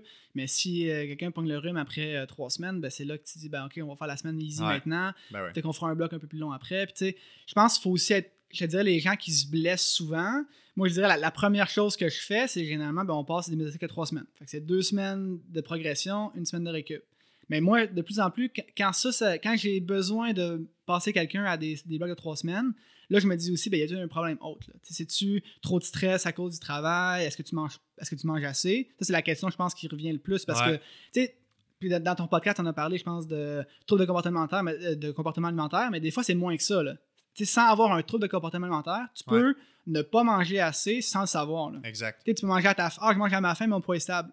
Ça veut pas dire que tu manges assez pour optimiser ton, ton entraînement. là. Ouais, 100%. Fait que c'est un peu ça, des fois, l'espèce de zone grise où, sais, on n'en parle pas beaucoup. Là. Je pense qu'on parle beaucoup, puis c'est bien d'en d'en parler beaucoup des, des troubles, puis des vrais problèmes, puis même du RED, du LEA. Ouais. Mais tu sais, sans être en déficit énergétique chronique, tu peux être non plus pas nécessairement optimal. Ouais, c'est ça. Ça peut être sous-optimal. Dans l'espèce de zone, euh, tes zones grises où ben, tu manges assez pour être en santé, mais tu laisses quand même plus souvent que la moyenne, puis ben, tu n'es pas capable de faire plus que 60 km par semaine, parce que dès que tu augmentes, il y a des petits bobos qui arrivent. Ouais, puis t'es pas capable de récupérer, t'as tout le temps de la fatigue, t'as tout le temps besoin de faire des siestes. Puis les gens se posent pas la question des fois, là, parce que souvent c'est le, le classique, là, je mange trois repas par jour, puis des fois un, un snack ou deux, mais quand tu t'entraînes, parce que même, même des, des gens t'es récréatifs, quand tu prépares un ultra puis que tu cours des 100 km semaine entre Ouais. elles, c'est beaucoup d'heures, là, Ouais. tu euh, c'est pas nécessairement, ou même, parce que des, des fois ils ont des comportements quand même qui sont, ah, jeûne intermittent, Euh, c'est parce que si tu cours 100 km par semaine, le jeûne intermittent, c'est sûrement pas une solution euh, Mhm, mhm. euh, nécessairement la bonne pour toi. Là, tu sais. fait que Ouais. faut, faut que je pense des fois un peu. un peu c'est souvent le premier élément, moi, que le premier red flag, c'est de dire ben, si tu as de la misère à supporter l'entraînement, est-ce que tu, tu manges assez. Même si on dit des fois que le sommeil, c'est le truc de récup numéro un, moi, ce que j'aime dire au monde, si tu manges assez et tu manges bien, tu dors aussi mieux. Ouais, ben, probablement. moi, les deux ça. sont, en fait, sont tough à isoler parce Oui, qu'il y a non, beaucoup, ça, beaucoup ouais. d'influence entre les deux, Mhm. clairement. Et moi, j'aime ça dire que c'est d'abord la nutrition. D'après moi, là, si Mm. euh, après un bon souper, beaucoup de carbs, là, tu dors bien. Ouais.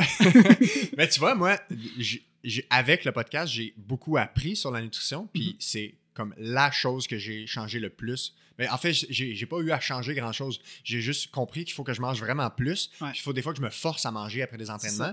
Puis j'ai comme vraiment compris à quel point le sucre, on aime ça. Ouais. puis que c'est nos amis, tu sais. Mhm. Fait que c'est comme la chose que j'ai le plus changé dans les semaines, puis surtout proche des entraînements, parce que l'année passée, je me rappelle, moi, je- mes, mes séances d'intensité, c'est tout le temps les samedis matins avec le club où je m'entraîne en ski de fond, puis le- les samedis après-midi, j'étais non fonctionnel. Il fallait tout le temps que je dorme. Puis cette année, j'ai vraiment plus mangé après mes entraînements. Fait que bref, en tout cas, c'est un élément que, que j'ai clairement changé. Ouais, même pendant aussi. moi, je Ouais, mais c'est ça, exact. Tu vois, j'ai mangé dans des courses pour la première fois cette année en Ok. ski de fond. Puis tu sais, j'avais déjà fait des courses de 45 km, ce qui peut être 2 à 3 heures des fois, selon Mhm. les conditions. Puis je mangeais pas là-dedans. Ouais. Ça n'a aucun sens, tu sais. Mais ce qu'ils te font, c'est, je pense que c'est le plus dur pour s'alimenter Ouais. pendant le- l'effort parce que tu as des bâtons. Mais c'est ça. Mais tu vois, cette année, là, j'avais des gels, puis j'ai mis dans mes manches. Mais c'est la seule façon que c'est efficace parce que sinon, tu sais, j'ai rien sur moi. Mhm. J'ai essayé dans les cuissards, ça tombe, ça se ramasse à la cheville. Ouais. C'est comme. Il y en a, je pense, qui ont des poches même bien placées, je pense, sur Ouais. les jambes pour quand ils sont en descente, Ouais, d'aller chercher exact. la bouffe. En tout cas, c'est. Ouais, C'est faudrait pas que je évident, me mais pimpe un cuissard maison pour ça, effectivement. Euh, je veux qu'on parle de- d'autres trucs qui, sont, qui ont un rôle dans l'entraînement. La première chose que je veux parler, c'est les week-end shocks. Mhm. Euh, week-end shock, qui est le principe de condenser sur deux ou trois jours, en tout cas, Mhm. rapprocher beaucoup, beaucoup de volume pour euh, travailler une deuxième ou une troisième sortie sur déjà la fatigue de la veille. C'est quoi la, la, la logique derrière ces week-end shocks-là? Puis est-ce que c'est pertinent? À quel point c'est pertinent d'in- d'intégrer ça dans nos- notre planif? Ben, je pense que c'est surtout le fun pour le monde. non, mais c'est de dire, OK, Ouais. en fin de semaine, on s'en va, euh, je sais pas, à Harford, on campe euh, au Parc National, puis on va faire deux longues sorties. Mais d'un point de vue entraînement, tu quand on y pense, euh, tu sais, normalement, on dit, en course sur route, en tout cas, on dit, ta longue sortie devrait pas être plus que 30% de ton volume de la semaine.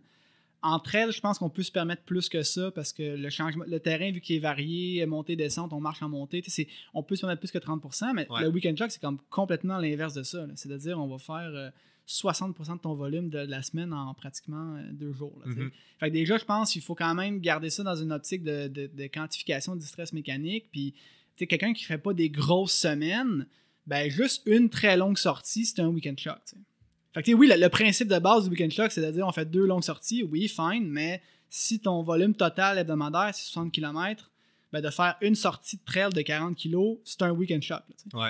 Fait que, je pense qu'il faut d'abord avoir ça en tête, là, mais euh, moi, je suis pas le plus grand fan de, ça parce que je trouve justement le risque. Il y, a, tant un, risque et un bénéfice. Le, le risque de blessure d'aller courir une deuxième journée sur des jambes, euh, des jambes vraiment fatiguées, même courbaturées, c'est pas nécessairement euh, idéal, mais je pense que c'est euh, fait que ça dépend des athlètes, ça dépend des contextes. Moi, ce que j'aime bien personnellement, c'est de faire plutôt des weekend checks en mode vélo-course. Ouais, ouais, ouais. Où euh, je me déplace en vélo pour aller justement camper à Harford. Fait que je fais mon, une longue sortie de vélo le vendredi soir, je fais une longue sortie de trail le samedi, puis je reviens en vélo dimanche.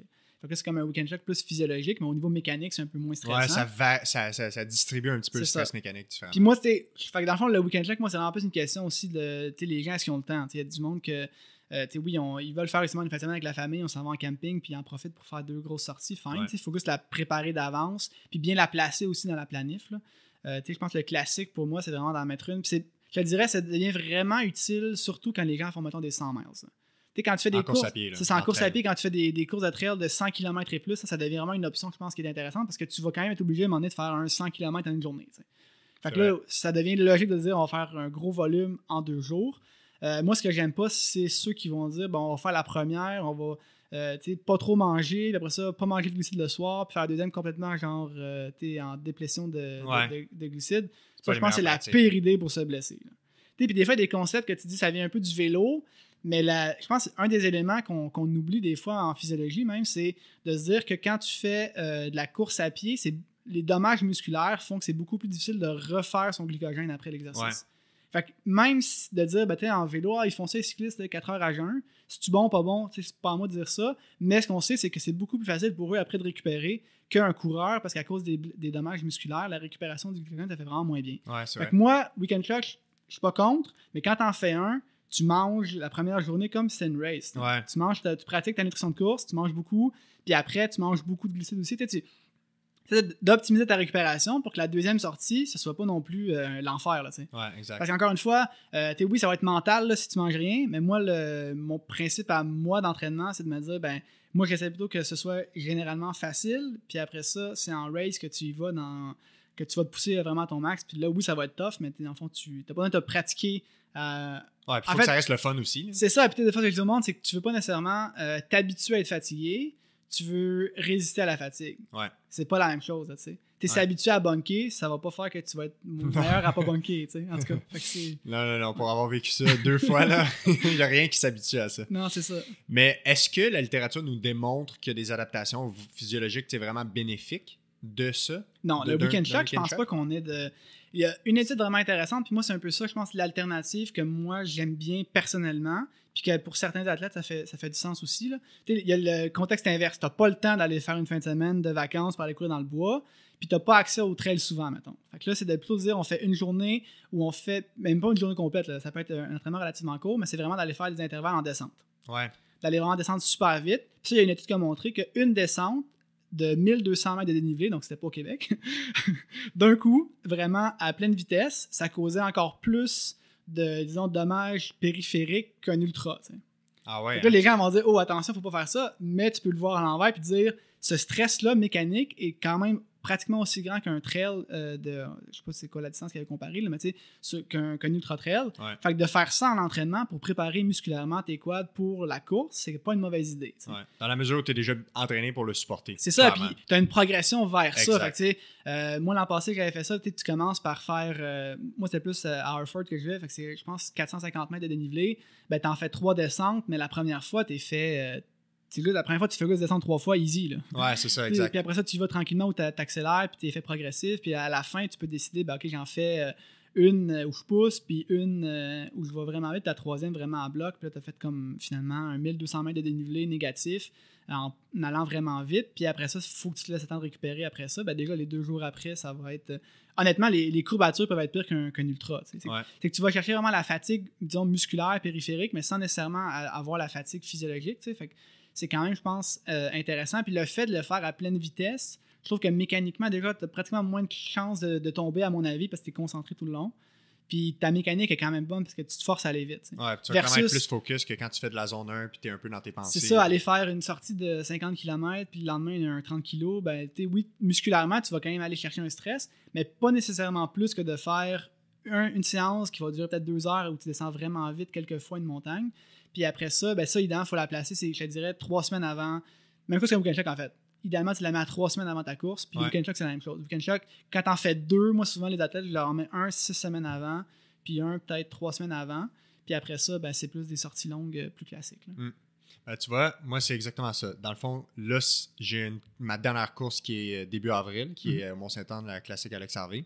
C'est un 50 kg. Puis mm. là, cette semaine, c'était la semaine au volume. Fait que là, ce week-end, j'ai fait euh, genre l'équivalent de 85 kilos en ski de fond. Hier, j'étais allé faire euh, à More Night. J'ai juste fait le dénivelé de la course que je vais mhm. faire. J'ai juste fait comme up and down à More Night. Fait que.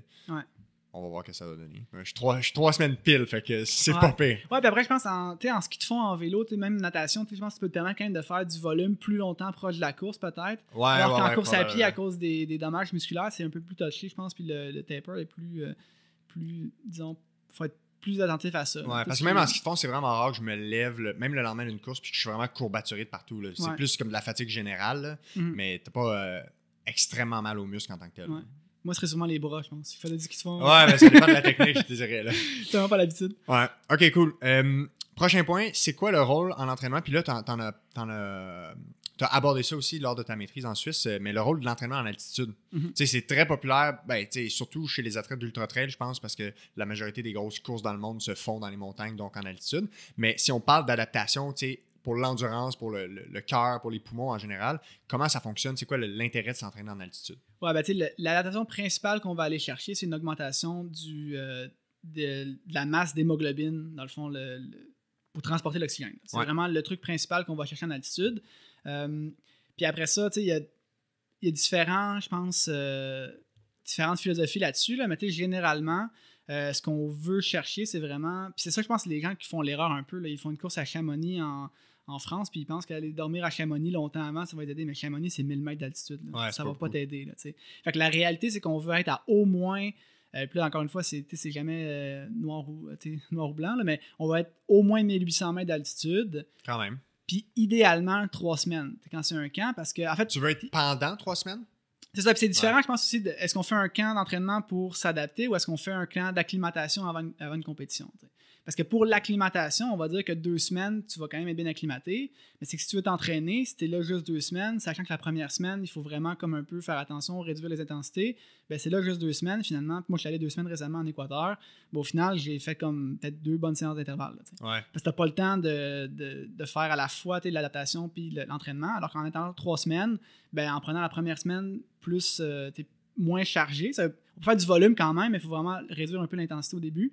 Euh, puis sans réalité, il y a vraiment comme des journées où il faut. Les trois premiers jours, c'est idéalement, tu fais zéro intensité, mais tu peux quand même aller jogger. Puis après ça, la semaine d'après, il faut être quand même plus prudent. Puis après ça, on peut vraiment commencer à augmenter. Puis revenir un peu à des, des intervalles qui vont ressembler à ce qu'on fait au niveau de la mer, mais tout le temps un peu moins vite parce que le, manque d'oxygène. Euh, fait qu'on va quand même. En fait, moins Il y a autant d'oxygène dans l'air, mais c'est juste que l'air est moins dense. Ouais, exact. Euh, c'est un peu ça. Puis c'est vraiment le fait de le simple fait de dormir en altitude va quand même amener des, adaptations. Fait le simple fait d'être là, euh, parce qu'il y a quand même des, des principes d'entraînement où tu dors en altitude puis tu t'entraînes au niveau de la mer. Fait que tu redescends t'entraîner. C'est quand même quelque chose qui se fait bien. Mm-hmm. ça te permet de garder l'intensité d'entraînement qui est la même qu'au niveau de la mer parce que tu n'es pas en altitude. ça, ça fonctionne quand même assez bien. Mais l'idée, c'est vraiment le, le principal, c'est d'aller chercher le l'augmentation des, des, globules rouges. Puis après ça, d'autres éléments, c'est plus au niveau de la capillarisation euh, musculaire. Puis je pense, même sans, euh, pour être, allé récemment, ce que je me rends compte, c'est que juste le fait que, même si tu restes en zone 2, tu es quand même plus souvent dans le top de la zone 2. Là, ouais, ouais, ouais. C'est plus pour un même effort, pour un même intensité, c'est ça. Tu cours un peu moins vite, mais ta fréquence cardiaque est un peu plus élevée, fait qu'au final, tu as même moins de stress mécanique, mais tu es Ouais. quand même proche du premier seuil. Fait que, au niveau aérobique, c'est vraiment, vraiment bénéfique. Là, fait que je pense que c'est quand même quelque chose qui, est, qui peut être très payant. Après ça, comme tu as dit plus tôt, les courses en Europe entre elles, ce qui complique les courses en Europe, c'est que dans le fond, souvent la course est à la fois en altitude et à la fois pas en altitude. Ouais. Parce que tu peux commencer des fois à 600 mètres d'altitude, tu as des sommets à 2500. Puis des fois, selon le profil, tu passes pas tant de temps à haute, à haute altitude. Fait que l'acclimatation est pas si importante que ça, euh, à mon avis. là, Tu n'auras pas à tolérer de longues périodes en altitude. C'est ça. Fait Il n'y aura pas nécessairement de- de- d'enjeu de, est-ce que je suis acclimaté, est-ce qu'il va y avoir des problèmes de, de- carrément de, sickness d'altitude, des choses comme ça. Ouais. Euh, c'est plus un enjeu, je pense, il y a des courses en Amérique du Sud. Là, j'ai regardé un peu des fois, c'est 4000 mètres d'altitude, là, ça commence à. Ouais, ça, c'est quelque chose. Ouais. Puis moi, en Équateur, je suis allé euh, cette année, puis tu sais, euh, je me suis entraîné une fois avec 4200. Euh, tu sais, tu sens. Là, c'est- Ouais, c'est clairement différent. Fait qu'au final, l'adaptation qu'on a, c'est que ton corps devient plus efficace à utiliser l'oxygène? Exactement. Ouais, à le transporter. À le surtout. transporter, c'est ça. transporter surtout. Mais aussi à l'utiliser. Mais tu Ouais.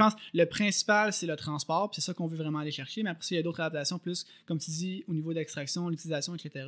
Ouais. Il y a quand même d'autres choses. Puis même, encore une fois, quand on regarde le, le, le HRV, euh, dans le fond, le, le- la VFC en altitude, euh, des fréquences cardiaques, on peut vraiment voir aussi des effets après l'entraînement, parce que pendant déjà, c'est tout le temps un peu plus bas, donc il y a un stress qui est quand même un peu plus là à cause que juste le fait de dormir en altitude, ta saturation d'oxygène, des fois, est un peu plus basse, fait que tu dors un peu moins bien, tu as, vraiment un stress tout le long, mais quand tu reviens au niveau de la mer, euh, on dit que tu as un premier pic, on, va, dire, en 2 et 4 jours après, puis ça, tu peux le voir souvent sur la, VFC. Puis un athlète, justement, sans dire que tu fais une compétition de trois jours après, si tu fais un camp au début de l'année puis tu vas pas ce pic-là, là, tu peux te questionner est-ce que cet athlète-là répond bien au camp, puis est-ce qu'on devrait, euh, la prochaine fois qu'on retourne dans une compétition, est-ce qu'on est qu'on fait une compé juste après? Parce que le fond, tu as une première phase positive quelques jours après, puis une deuxième phase positive en deux, trois semaines après. tu sais. Fait que dépendamment où les gens répondent avec un pic de, de, de, de- réponse physiologique, Ouais. ça pourrait être là qu'on placerait le Ouais. camp pour la Souvent, course. souvent on met les deux. Souvent, les athlètes même de, de haut niveau font une première compétition euh, juste après, puis Ouais. une autre deux semaines après ça. OK, ouais. Puis moi, c'est un peu ça là, que, comme cet été, c'est ça que je veux faire un peu. Je m'en vais en Europe euh, un trois semaines de camp avant les championnats du monde de trail. Puis je vais essayer de faire, euh, dans le fond, de descendre trois jours avant les championnats du monde.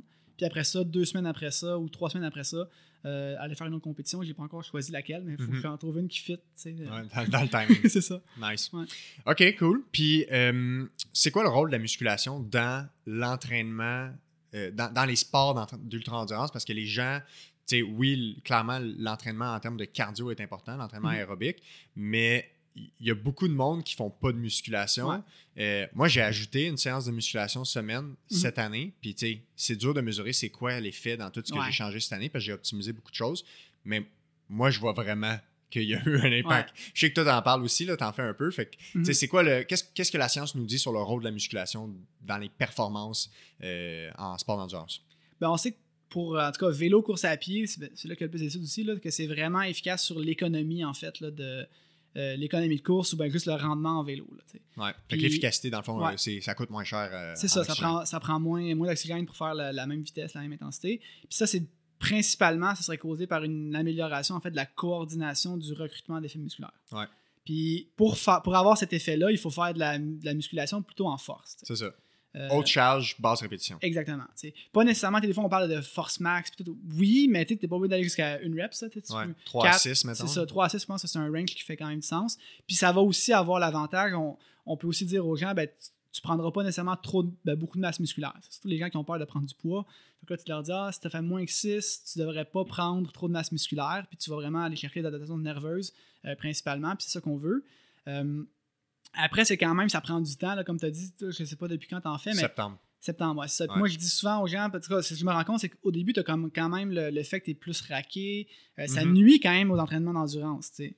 Puis moi, je trouve que des fois, carrément, un 12 semaines, ça peut quand même. C'est que tu pas sûr que ça marche. Ouais. Puis après, je trouve, ce, ce trois mois-là que tu fais comme, OK, là, je, je commence à sentir que je suis plus solide, je récupère bien de ma muscu, puis je peux quand même courir. tu sais. Puis là, là, c'est là que tu commences à avoir les bénéfices. Fait que ça prend du temps. C'est pas facile dans une planif, dans une semaine, de dire, ben, je fais deux fois de la muscu. Euh, Ouais, tu sais, c'est je les place comment? Des fois, le, le- le truc, c'est quand même de les mettre les mêmes jours que tes intervalles. tu sais. C'est-à-dire que je fais les intervalles le matin, je fais la muscu le soir. Comme ça, ben, le lendemain, c'est vraiment easy. Puis euh, deux, t'es- deux, trois jours après, tu pourrais faire les intervalles. Fait que, Ouais. mais c'est pas facile à placer. Euh, Moi-même, tu sais, avec, euh, avec le travail, tout, des fois, là, j'en fais plutôt une bonne séance de muscu vraiment en force euh, au gym par semaine. Puis la deuxième séance que je vais faire, ça va être plus poids du corps, plus mobilité, puis Mhm. des trucs euh, qui peuvent quand même être. Avec le COVID, on a appris à faire des entraînements qui sont quand Ouais, même ouais, maison Des avec de beaucoup de résistance, puis euh, des step-up avec un step vraiment haut, puis des élastiques. Ben, c'est tough. Ouais, ouais, ça peut travailler très fort. Ouais. Tu peux faire des séries de, de 5 reps, puis t'es max. là. Ouais, clairement.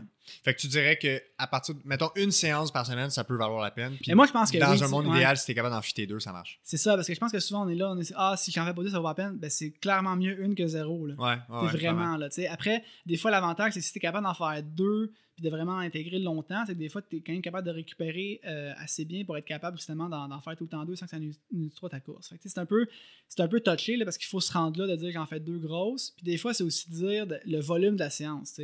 Euh, moi, des fois, quand je fais justement quand je fais mes séances au gym, ben souvent je fais carrément une séance au travail, euh, au gym à l'INS, puis tu sais, je fais une séance super courte. Là, je fais juste mon exercice principal. Donc, si je fais du squat, euh, des fois deux exercices, Ouais. vraiment basic. Puis après ça, les- toute la mobilité, je la fais quand même chez nous le, le soir. tout ce qui est plus. Mhm. euh, plus euh, des, des- mettons, des. Moi, ce que j'aimais, c'est des leg curls avec le ballon suisse, c'est des affaires vraiment comme euh, plus spécifiques sur prévention de blessures. Euh, tes side step pour avoir le moyen fessier, des choses. euh, Mhm. tu vas faire quoi? Tu vas faire en donner beaucoup de ça. Ouais, ouais. Mais en fait, tous les programmes de, tu sais, Ouais. euh, mettons dans le soccer, ils ont les programmes FIFA avec plein de. Tu as des, des exercices qui, sont, qui ont démontré comme étant euh, Mhm. pertinents pour la prévention des blessures. là. Ouais. Mais toi, tu, tu fais quoi? L'équivalent de comme 4-5 séries? Mettons pour un exercice, tu vas Ben, faire du 3 à 6 répétitions, 4-5-7? Ouais, je te dirais 4-7, mettons, avec une charge lourde. Puis Ouais. souvent, mon, mon warm-up, c'est que je le build jusqu'à ça. Fait que ça s'appelle quand même finalement euh, 6-7 séries. Ouais, c'est ça, exact. Parce que je fais comme un warm-up. Ouais, ou, ça prend comme 15-20 minutes, un exercice, là, finalement. Ouais, c'est ça. Je te dirais, mettons 25 minutes, j'ai fait deux, deux exercices. Ouais, c'est ça, exact. euh, le repos est relativement long. Après, euh, quand tu fais juste une jambe à la fois, des fois, tu peux faire des repos un peu plus courts. mais quand c'est vraiment comme un vrai squat, mettons, ça Ouais. prend quand même du temps pour. euh, pour que ce soit nerveux, il faut que théoriquement, ben, tu lèves autant de, de reps à ta quatrième série qu'à ta première. Là, puis que ce soit. Ouais. euh, Ouais, pas nécessairement maximal. Je pense que ça aussi, des fois, on parle de force max, mais si tu gardes une répétition en réserve, de dire, ben, j'en fais 4 alors que je pourrais en faire une cinquième, Mhm. vraiment limite, ben, c'est quand, a même d'allure. un- c'est quand même de ouais.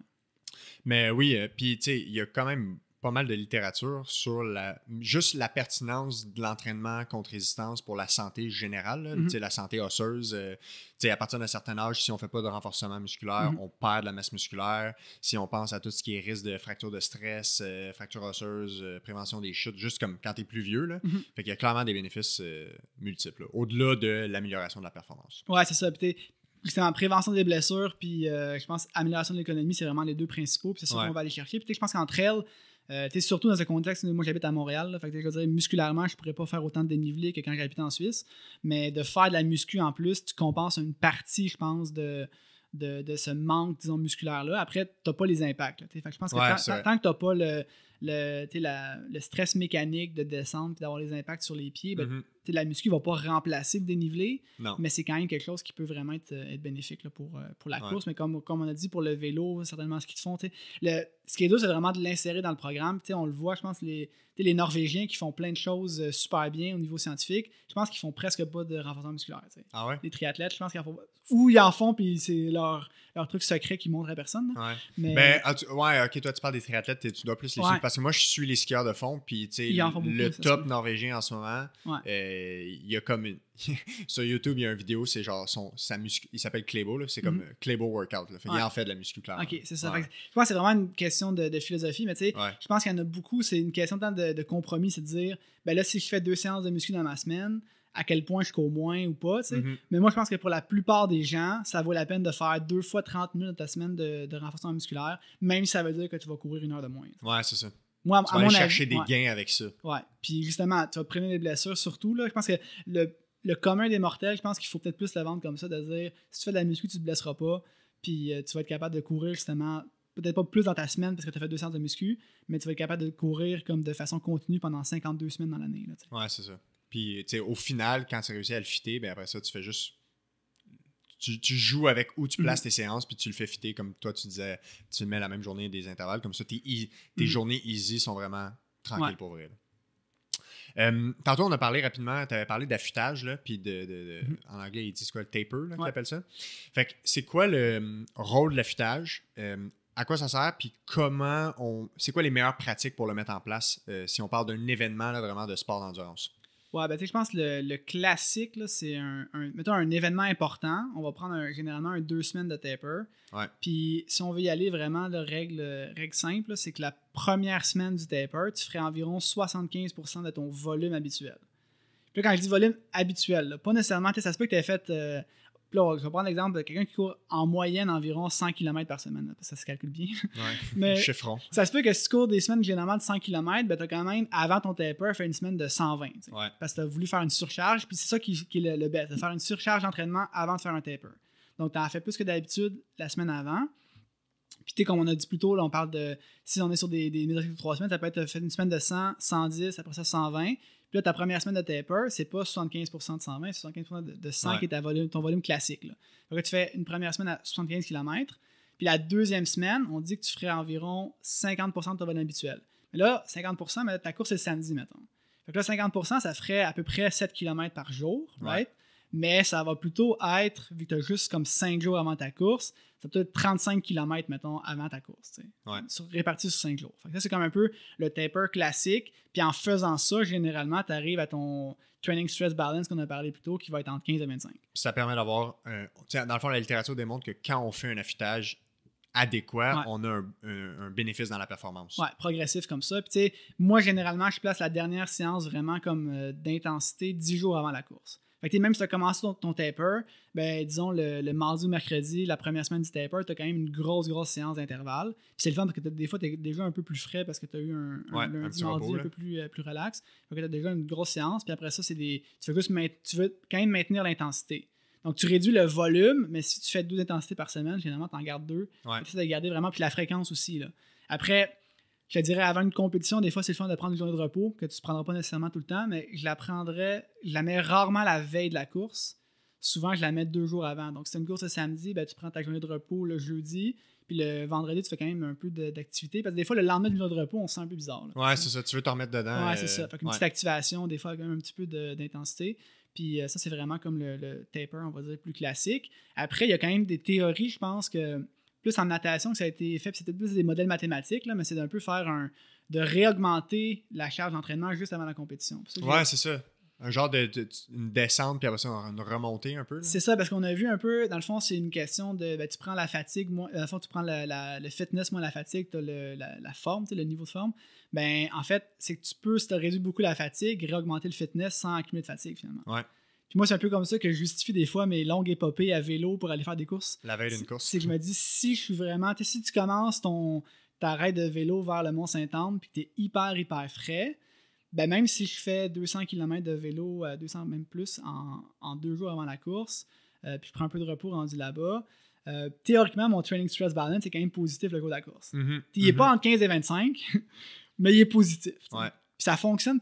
Ça a quand même fonctionné. Je dirais que c'est un gros risque en fait que tu prends. Mais tu des fois, on veut pas optimiser la performance, on veut juste faire quelque chose qui, euh, qui nous tient à cœur et qui nous, euh, qui nous motive. là. Ça permet de faire des tests aussi. C'est ça. Fait que, ça, c'est un peu long, mais dans d'autres cas que j'avais fait, je pense, l'année passée, Bromont, où c'est 100 km de Montréal. Ouais. Puis de rouler 100 km la veille de la course, le monde trouve ça débile. Mais en même temps, si tu pars ta ride puis t'es hyper frais, t'es déjà carb loadé, puis pendant ta ride, tu t'alimentes bien, ben c'est pas dur. Là. Quand tu penses au Tour de France, ils font des rides de, de 200 km tous les jours, puis Ouais. le lendemain, le lendemain, c'est à bloc, là, tu sais. Ah ouais, c'est Fait fou. que, euh, tu sais, je pense que des fois, on, on a un peu peur de ça. Puis c'est justement là que le vélo est intéressant parce que tu n'as pas de, de stress mécanique. Ouais. Tu pourrais pas faire ça en course à pied. Tu feras pas une longue sortie la veille de ta course. Non, non, non, c'est clair. Alors qu'en vélo, ça se fait. Fait que, tu sais, même si le taper classique, c'est vraiment de réduire puis de faire une activation la veille de la course, il y a quand même des concepts de dire ben, réaugmenter un peu la charge d'entraînement. Si tu pourrais le faire sans amener de stress mécanique, c'est pas une mauvaise, nécessairement une mauvaise chose. Fait que, en tous les sports où il n'y a pas d'impact, ça fait du sens de dire ben, c'est pas illogique de dire la semaine avant la course,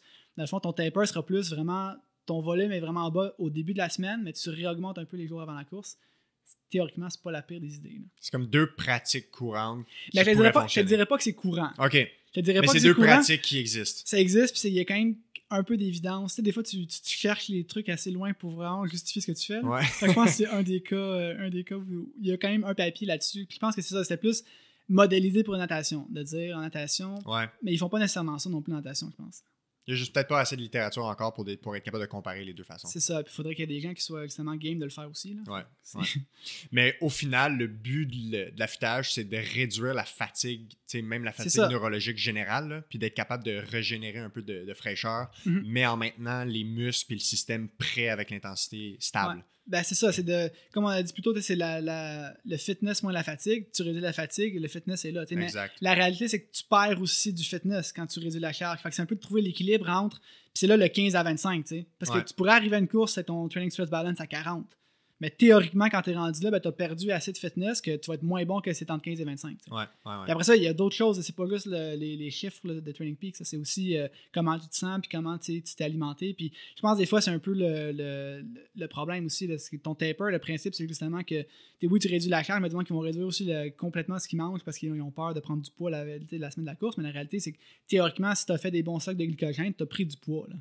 Parce que tu as plus de glycogène, plus d'eau dans, dans le corps. Fait Il y a un peu de. de- de- C'est un peu art- pas artistique, mais dans le sens qu'il y a un peu d'essai-erreur aussi avec Mhm. ça, parce que ça doit être individuel selon les athlètes, Ouais. comment ils répondent. Donc, tu peux pas nécessairement faire un, un, un- un affûtage qui va être pareil pour tous les membres Ouais. d'une même équipe, parce qu'il y en a qui savent que. Tu sais, il y en a que ça les stresse de, mettons, pas courir la veille, fait qu'ils ont besoin d'être sur Ouais. pattes puis de passer du temps un peu. Fait qu'il y a un peu d'individualité là-dedans. là. Ouais, puis il y en a qui aiment ça pas courir la veille de la course. Ouais. ouais. Eux, ça va les stresser s'il faut qu'ils. Ah non, faut que, faut que je Mhm. mange. Ok, ben tu vas avoir un repos la veille de la course, fine, tu sais. Puis je pense qu'il faut aussi. euh, Qu'est-ce que j'allais dire? Il y avait un point, puis là, je l'ai. euh, En tout cas, peu importe, là. Je pense Ouais. que c'était- pas si, si pertinent que ça. Puis euh, en rafale, là, rapidement, pendant, pendant un entraînement, euh, pendant une compétition, l'hydratation, Mhm. toi, c'est une des choses qui est, qui est dans ta spécialité. On pourrait simplement boire à notre soif, puis ce serait adéquat? Ouais, ben c'est ça. Moi, ce que je dis, c'est que pour la majorité des gens, ça fonctionne assez bien. Ouais. C'est peut-être pas vrai que 100% des gens, c'est la meilleure stratégie pour eux. Mais moi, mon approche avec mes athlètes, généralement, c'est que on commence, on, part du principe que boire à sa soif, c'est la meilleure stratégie. Puis si on a l'impression que c'est pas assez, ben c'est de trouver une façon de stimuler la soif, finalement. fait qu'au lieu de dire on va faire un plan programmé, parce que c'est- pratiquement impossible. Tu sais, oui, dans la littérature, ça montre que programmer son apport hydrique, c'est une bonne chose. Mais la difficulté, t'es en laboratoire, c'est déjà dur. Là. Ouais. T'sais, mon projet de, de doctorat, c'était 5 heures de vélo avec un effort max après 5 heures de vélo. Fait que c'était 5 heures de vélo puis 20 km TT après. Dans une, une chambre environnementale 30 degrés. Là, on mesure la sudation, on mesure le poids, on mesure la sudation, on mesure les apports, tout. On mesure la quantité d'urine produite. Puis la réalité, c'est que pendant les tests, il fallait que j'ajuste le- la quantité programmée pour matcher la quantité d'urine produite. Mhm. Comment tu voudrais faire ça en vrai? Ouais. Puis après ça, tu regardes les, les conditions. La course, peu importe ce que c'est, sur la course sur route, euh, vélo, trail, il- la température est pas la même au début puis à la fin. Non, exact. Tu sais, fait qu'il y a comme plein de facteurs qui sont. C'est presque impossible de calculer vraiment ta perte euh, de sudation pendant la course. C'est vraiment difficile de programmer. Parce qu'on part là-dessus, là. Oui, programmer, ce serait sûrement bon, mais c'est presque impossible de programmer finalement. Ouais, c'est ça. Tu as, ce que tu peux trouver en laboratoire quand tu le fais euh, Ouais. dans les conditions parfaitement contrôlées, puis à quel point c'est possible d'être appliqué après ça dans Puis la après, vraie vie. là. puis après ça, l'effet dans mon projet à moi, parce que dans mon projet, on a quand même montré que c'était mieux programmé qu'à sa soif sur un 5 heures de vélo plus un TT. Ouais. Mais ce serait beaucoup plus en raison d'un effet refroidissant de l'eau. L'eau était froide, en fait. Ouais. Nous, on a mis des conditions, tu sais. En fait, nous, même si je pense que le lab à, à Sherbrooke, euh, à Eric Goulet, on est, on est plus sur euh, notre, notre vision, c'est plus de dire que boire à soif, c'est bon. Mais tu veux un peu tester l'hypothèse inverse, finalement. Ouais, ouais, exact. ton Tu peux pas être protocole, dans un biais de confirmation tout ton, le temps. ton là. protocole, s'il est monté pour montrer ton point, ben, ça marchera pas. Fait que là, il faut quand même, dans ce cas-là, on va mettre de l'eau froide. C'est condition parfaite. Le cycliste a accès à une voiture d'équipe, l'eau est à 4 degrés, Ouais. c'est vraiment le best. Puis dans le fond, dans ce cas-là, c'était mieux programmé. Mais l'exemple, je pense, le fun, c'est de dire qu'il y a un athlète, boire à sa euh, programmée, il a carrément été plus déshydraté parce qu'il a tellement uriné plus. Ouais. Mais il a mieux performé. Fait qu'il était, mieux- il était plus déshydraté en buvant euh, de façon programmée parce qu'il a bu beaucoup plus d'eau froide, qui l'a refroidi plus, mais ça l'a pas plus hydraté finalement. Ouais. Fait que c'est plus un effet de refroidissement de l'eau. C'est ça qu'un effet vraiment d'hydratation. Puis, fait que moi, je pars vraiment de ce principe-là de dire que la plupart des gens, puis la- dans mon projet, je pense que sur les 8 athlètes, il y en a juste 3. Sais, quand tu regardes vraiment les données individuelles, tu en as vraiment 3 qui font comme, eux ont vraiment eu un bénéfice de boire programmé. Puis les 5 autres, ben, soit que c'est pas le cas ou ben, que c'est pas évident. Ouais. Puis dans le fond, en partant là-dessus, moi, je me dis tout le temps aux gens, ben, pèse-toi avant, puis après ta longue sortie, bois ta soif. Si tu finis et tu as perdu euh, seulement 2% de ton poids corporel, fine. Puis tu t'es bien senti, ok, c'est parfait. Si tu as perdu 3% de ton poids puis tu te sens bien, ça se peut que c'est correct. Mais là, si t'es vraiment hyper déshydraté à la fin, ok, j'ai perdu 5% de mon poids corporel, j'étais cassé dans l'erreur, ça allait pas bien, puis tu as bien mangé. Parce que des fois, je pense, Ouais, en- c'est ça. en endurance, on attribue souvent des, des problèmes à l'hydratation, alors que c'est peut-être plus la- l'alimentation, finalement. ouais. Même les crampes. là. Oui, euh, le fait d'être déshydraté peut avoir un, un impact, même si c'est beaucoup plus neuromusculaire qu'une question d'hydratation. Ben, si tu es déshydraté, ça se peut que neuromusculairement, ben, le stress est plus grand et que tu as des crampes. Mais la réalité, c'est que si tu manges assez aussi, puis ça te permet de ne pas avoir une grosse dérive cardiaque, puis de rester dans les bonnes zones d'entraînement. Tu sais, il y a quand même, c'est vraiment multifactoriel, mais moi, Ouais. je pense, je pense qu'il y a un des, des problèmes en, en sport d'endurance en général, c'est qu'on accorde beaucoup trop d'importance à l'hydratation pour aux électrolytes. Les électrolytes, alors que c'est le sodium. Ouais. Dire, les autres électrolytes, on s'en fout un peu. là. Puis euh, il y a beaucoup trop d'importance à ça, puis vraiment pas assez aux glucides. là. Ouais. Fait que je pense qu'il faut quand même des fois se, se remettre en question puis dire ben euh, déjà même des fois l'inverse j'ai déjà vu des gars ils se forcent à boire de l'eau qui les amène carrément à avoir des problèmes digestifs puis à être déshydratés Ouais. fait que si tu bois de l'eau au point où ton, ton corps est pas capable tu finis par vomir ou avoir la diarrhée T'es pas plus avancé. après ça t'es déshydraté parce que t'as bu trop d'eau Parce que les crampes musculaires, au final, c'est de la fatigue musculaire. Ouais. Donc, on pourrait à la limite intégrer tous les éléments qui peuvent jouer dans la fatigue musculaire. Fait que ton entraînement, ta muscu, ta nutrition, ta fatigue générale. Mhm. c'est ça Mais les gens vont dire Ah non, il manquait de potassium ou j'étais déshydraté ou. euh, sais. Puis moi, suis curieux de, de faire un projet là-dessus, en fait, c'est de mesurer. Parce que moi, j'ai comme un- Évidemment, c'est un N de 1, là, mais quand je fais beaucoup d'entraînement, parce que moi, la musculation, là, on parlait de deux séances par semaine. Ouais. Euh, des fois, plus proche des compétitions, j'en enlève une, puis je fais une séance de musculation terrain, si on veut. Fait que je des sprints en montée. Fait que des sprints, encore une fois, on est en force max, fait que des sprints de 10 secondes, Mhm. all out en montée, avec des récup de 3 minutes. Même principe, là. C'est Ouais. des rép- des répétitions, euh, des, des séries courtes, pas beaucoup de répétitions, puis vraiment beaucoup de repos. Puis j'ai vraiment de plus en plus, il faudrait que je fasse une- que je vérifie en fait, mais je pense que quand je fais ce genre d'entraînement-là, j'ai beaucoup moins de problèmes de crampes pendant les courses. Ouais. Là, c'est anecdotique évidemment, là, je dis ça, c'est Ouais, un ouais, de un. Mais encore une fois, c'est que là, tu fais vraiment, encore une fois, c'est comme de la muscu, mais hyper spécifique. Tu es dans le, le sprint max en course à pied.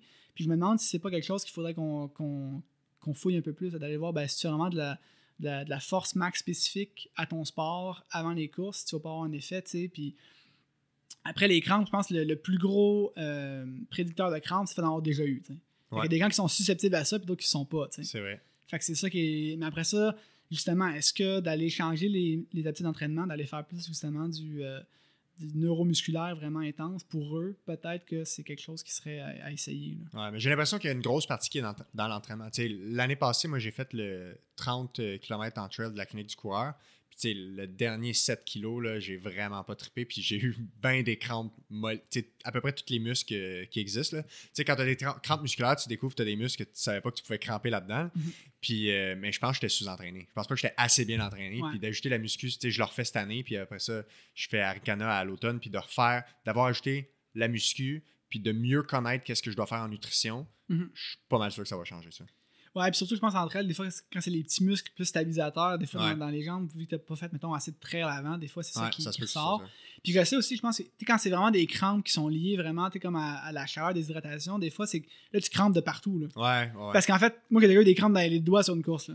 ouais, Puis ouais, oui, j'avais des bâtons, mais c'est là que tu te dis, OK, là, peut-être que dans ce cas-ci, l'hydratation a plus joué parce que là, tu crampes du corps entier. tu sais. Ouais. Alors que quand c'est vraiment juste, pourquoi serait juste ton mollet qui crampe, c'est déshydraté? Ouais, pourquoi un mollet droit, tu sais, C'est justement? ça. Ouais, Ben, c'est parce que musculairement, il est plus fatigué que l'autre. Ouais, bon point.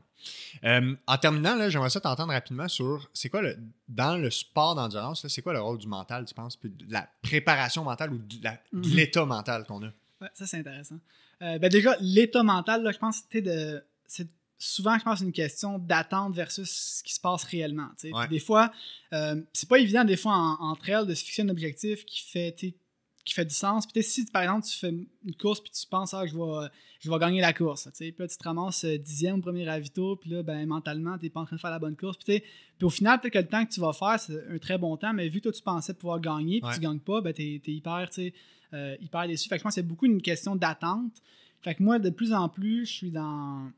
Tu sais, puis là, c'est pas ma spécialité, là, je suis pas, pas un préparateur mental, mais de, je trouve que de se fixer des objectifs, ça amène des attentes.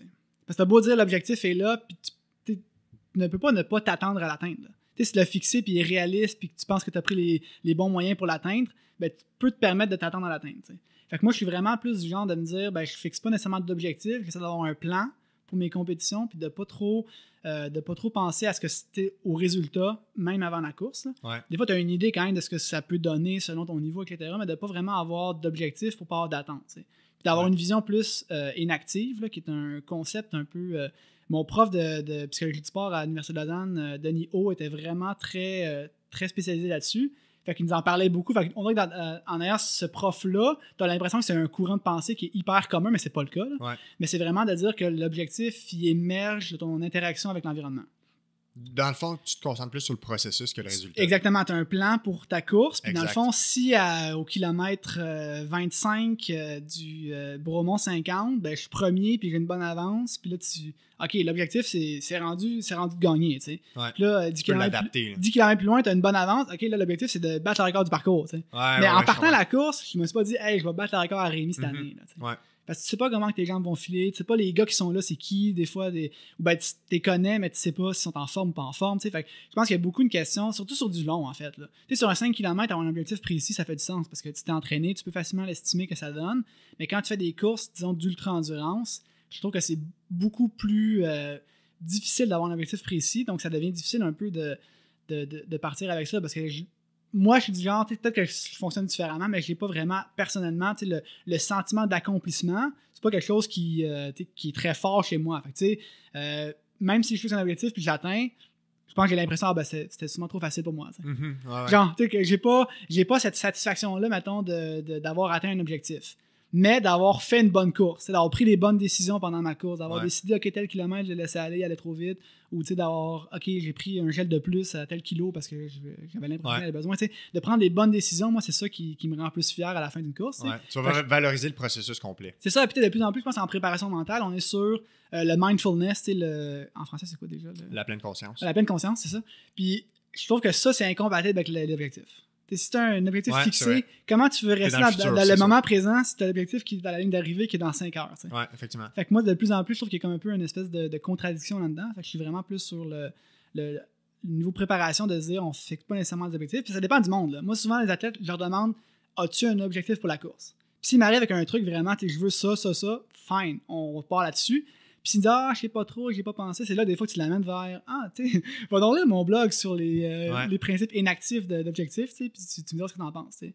Euh, Mais tu vois, une des choses qui, moi, ça fait peut-être deux ou trois ans, je, je sais pas c'est à- de qui j'avais entendu ça, mais c'était quelqu'un qui, je pense que c'était un coureur de trail, puis euh, ça m'est toujours resté comme concept, c'est que peu importe tes sensations actuelles, dis-toi qu'elles vont- qu'elles sont temporaires. Mhm. Que ce soit très bon, que tu aies des très bonnes sensations en course, ou que tu aies des très Mhm. mauvaises sensations, puis que tu en train de passer un bout de rough, de te dire que c'est, ça va changer.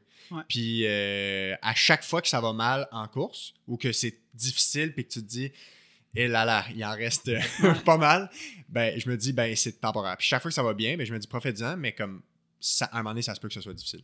Ouais, puis le, le mental entre elles, c'est quand même beaucoup aussi, je pense, euh, nutritionnel. là. Mais c'est ça, il faut que tu continues à faire les bonnes choses. C'est ça. Tu dises que les up and down, ils vont sûrement venir puis passer. Puis c'est possible aussi, je pense qu'il y a des gens qui disent des fois, c'est si ça va bien dans un ultra, ben ça sera pas long, là, ça va aller mal bientôt. Mais c'est pas vrai. Là. Moi, j'ai déjà fait des courses de 12 heures où j'ai eu zéro down. là. Ouais. Puis ça, c'est vraiment. Puis, je l'attribue vraiment à ben, déjà un bon état d'esprit, de pas trop se fier à- de, se soucier de ce qui se passe autour de toi, mais aussi de t'alimenter, de respecter ton plan, puis de manger, dans mon cas, c'est des fois plus que 100 grammes de glucides par heure. là. Ouais, d'être vraiment, vraiment sharp là-dessus. Puis après ça, ben, mentalement, ça devient plus facile. là, parce qu'un un ultra bien géré, quand tu t'alimentes assez, puis t'as pas le, tu tu bunkes pas finalement, ce qui te limite à la fin de la course, c'est vraiment musculaire. Exact. Fait que c'est vraiment de dire ben, à quel point je vais me faire mal au quad, à quel point je vais aller vite en descente jusqu'à la fin de la course.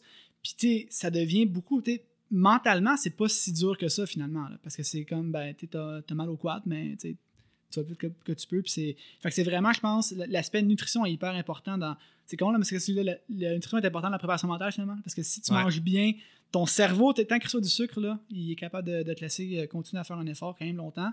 Euh, parce que tout ce qui est. euh, tu sais, j'ai déjà fait des tests avec tout ce qui est euh, le dialogue interne, tu d'avoir des, des phrases là, pour essayer de te motiver. Puis tout. Puis au final, on dirait que ça marche pas parce que j'ai pas de situation, je trouve, dans les courses tant que ça où tu as besoin de ça. Parce que c'est jamais.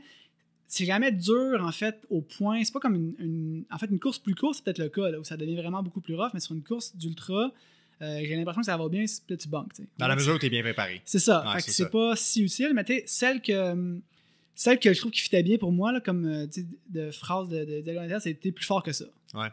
Parce que je trouve que ça s'applique dans toutes les situations. Mhm. Si ça va mal, tu te dis que t'es plus fort que ça, fait que t'es comme, t'es ok, Ouais. ben pousse. Puis même si t'es premier, puis t'as un lead, t'es plus fort que ça, fait que t'en remets une couche, puis t'es capable d'aller plus vite. Fait que je trouve que c'est un des, des, disons, des, des phrases qui, qui fonctionnait bien. Ça, c'est un autre truc, là, rapidement. là, des fois, sur ta Garmin, en tout cas, sur peut-être peut-être le Coros aussi, là, mais sur les montres, tu peux en fait mettre des, euh, des alertes custom. Donc, tu mets des alertes custom que c'est un texte. là. Ouais. Fait que tu peux te mettre des mots qui vont te dire euh, déjà euh, kilomètre 80, continue à manger. Ouais. ou justement, t'es plus fort que ça. Ou Ouais. euh, oublie pas que t'aimes ça. tu sais, Ou t'es des, des choses qui Qui sont. te ramène connecté dans le moment C'est ça. présent. là. Fait que je pense y a quand même des moyens de, de faire ça bon qui point. sont. euh, Parce qu'une fois que ça va mal, des fois c'est c'est con, c'est facile à dire là, aujourd'hui, là, faut que tu manges. mais tu sais, dans le course, ça, ça m'arrive des fois d'arrêter de manger aussi. Là.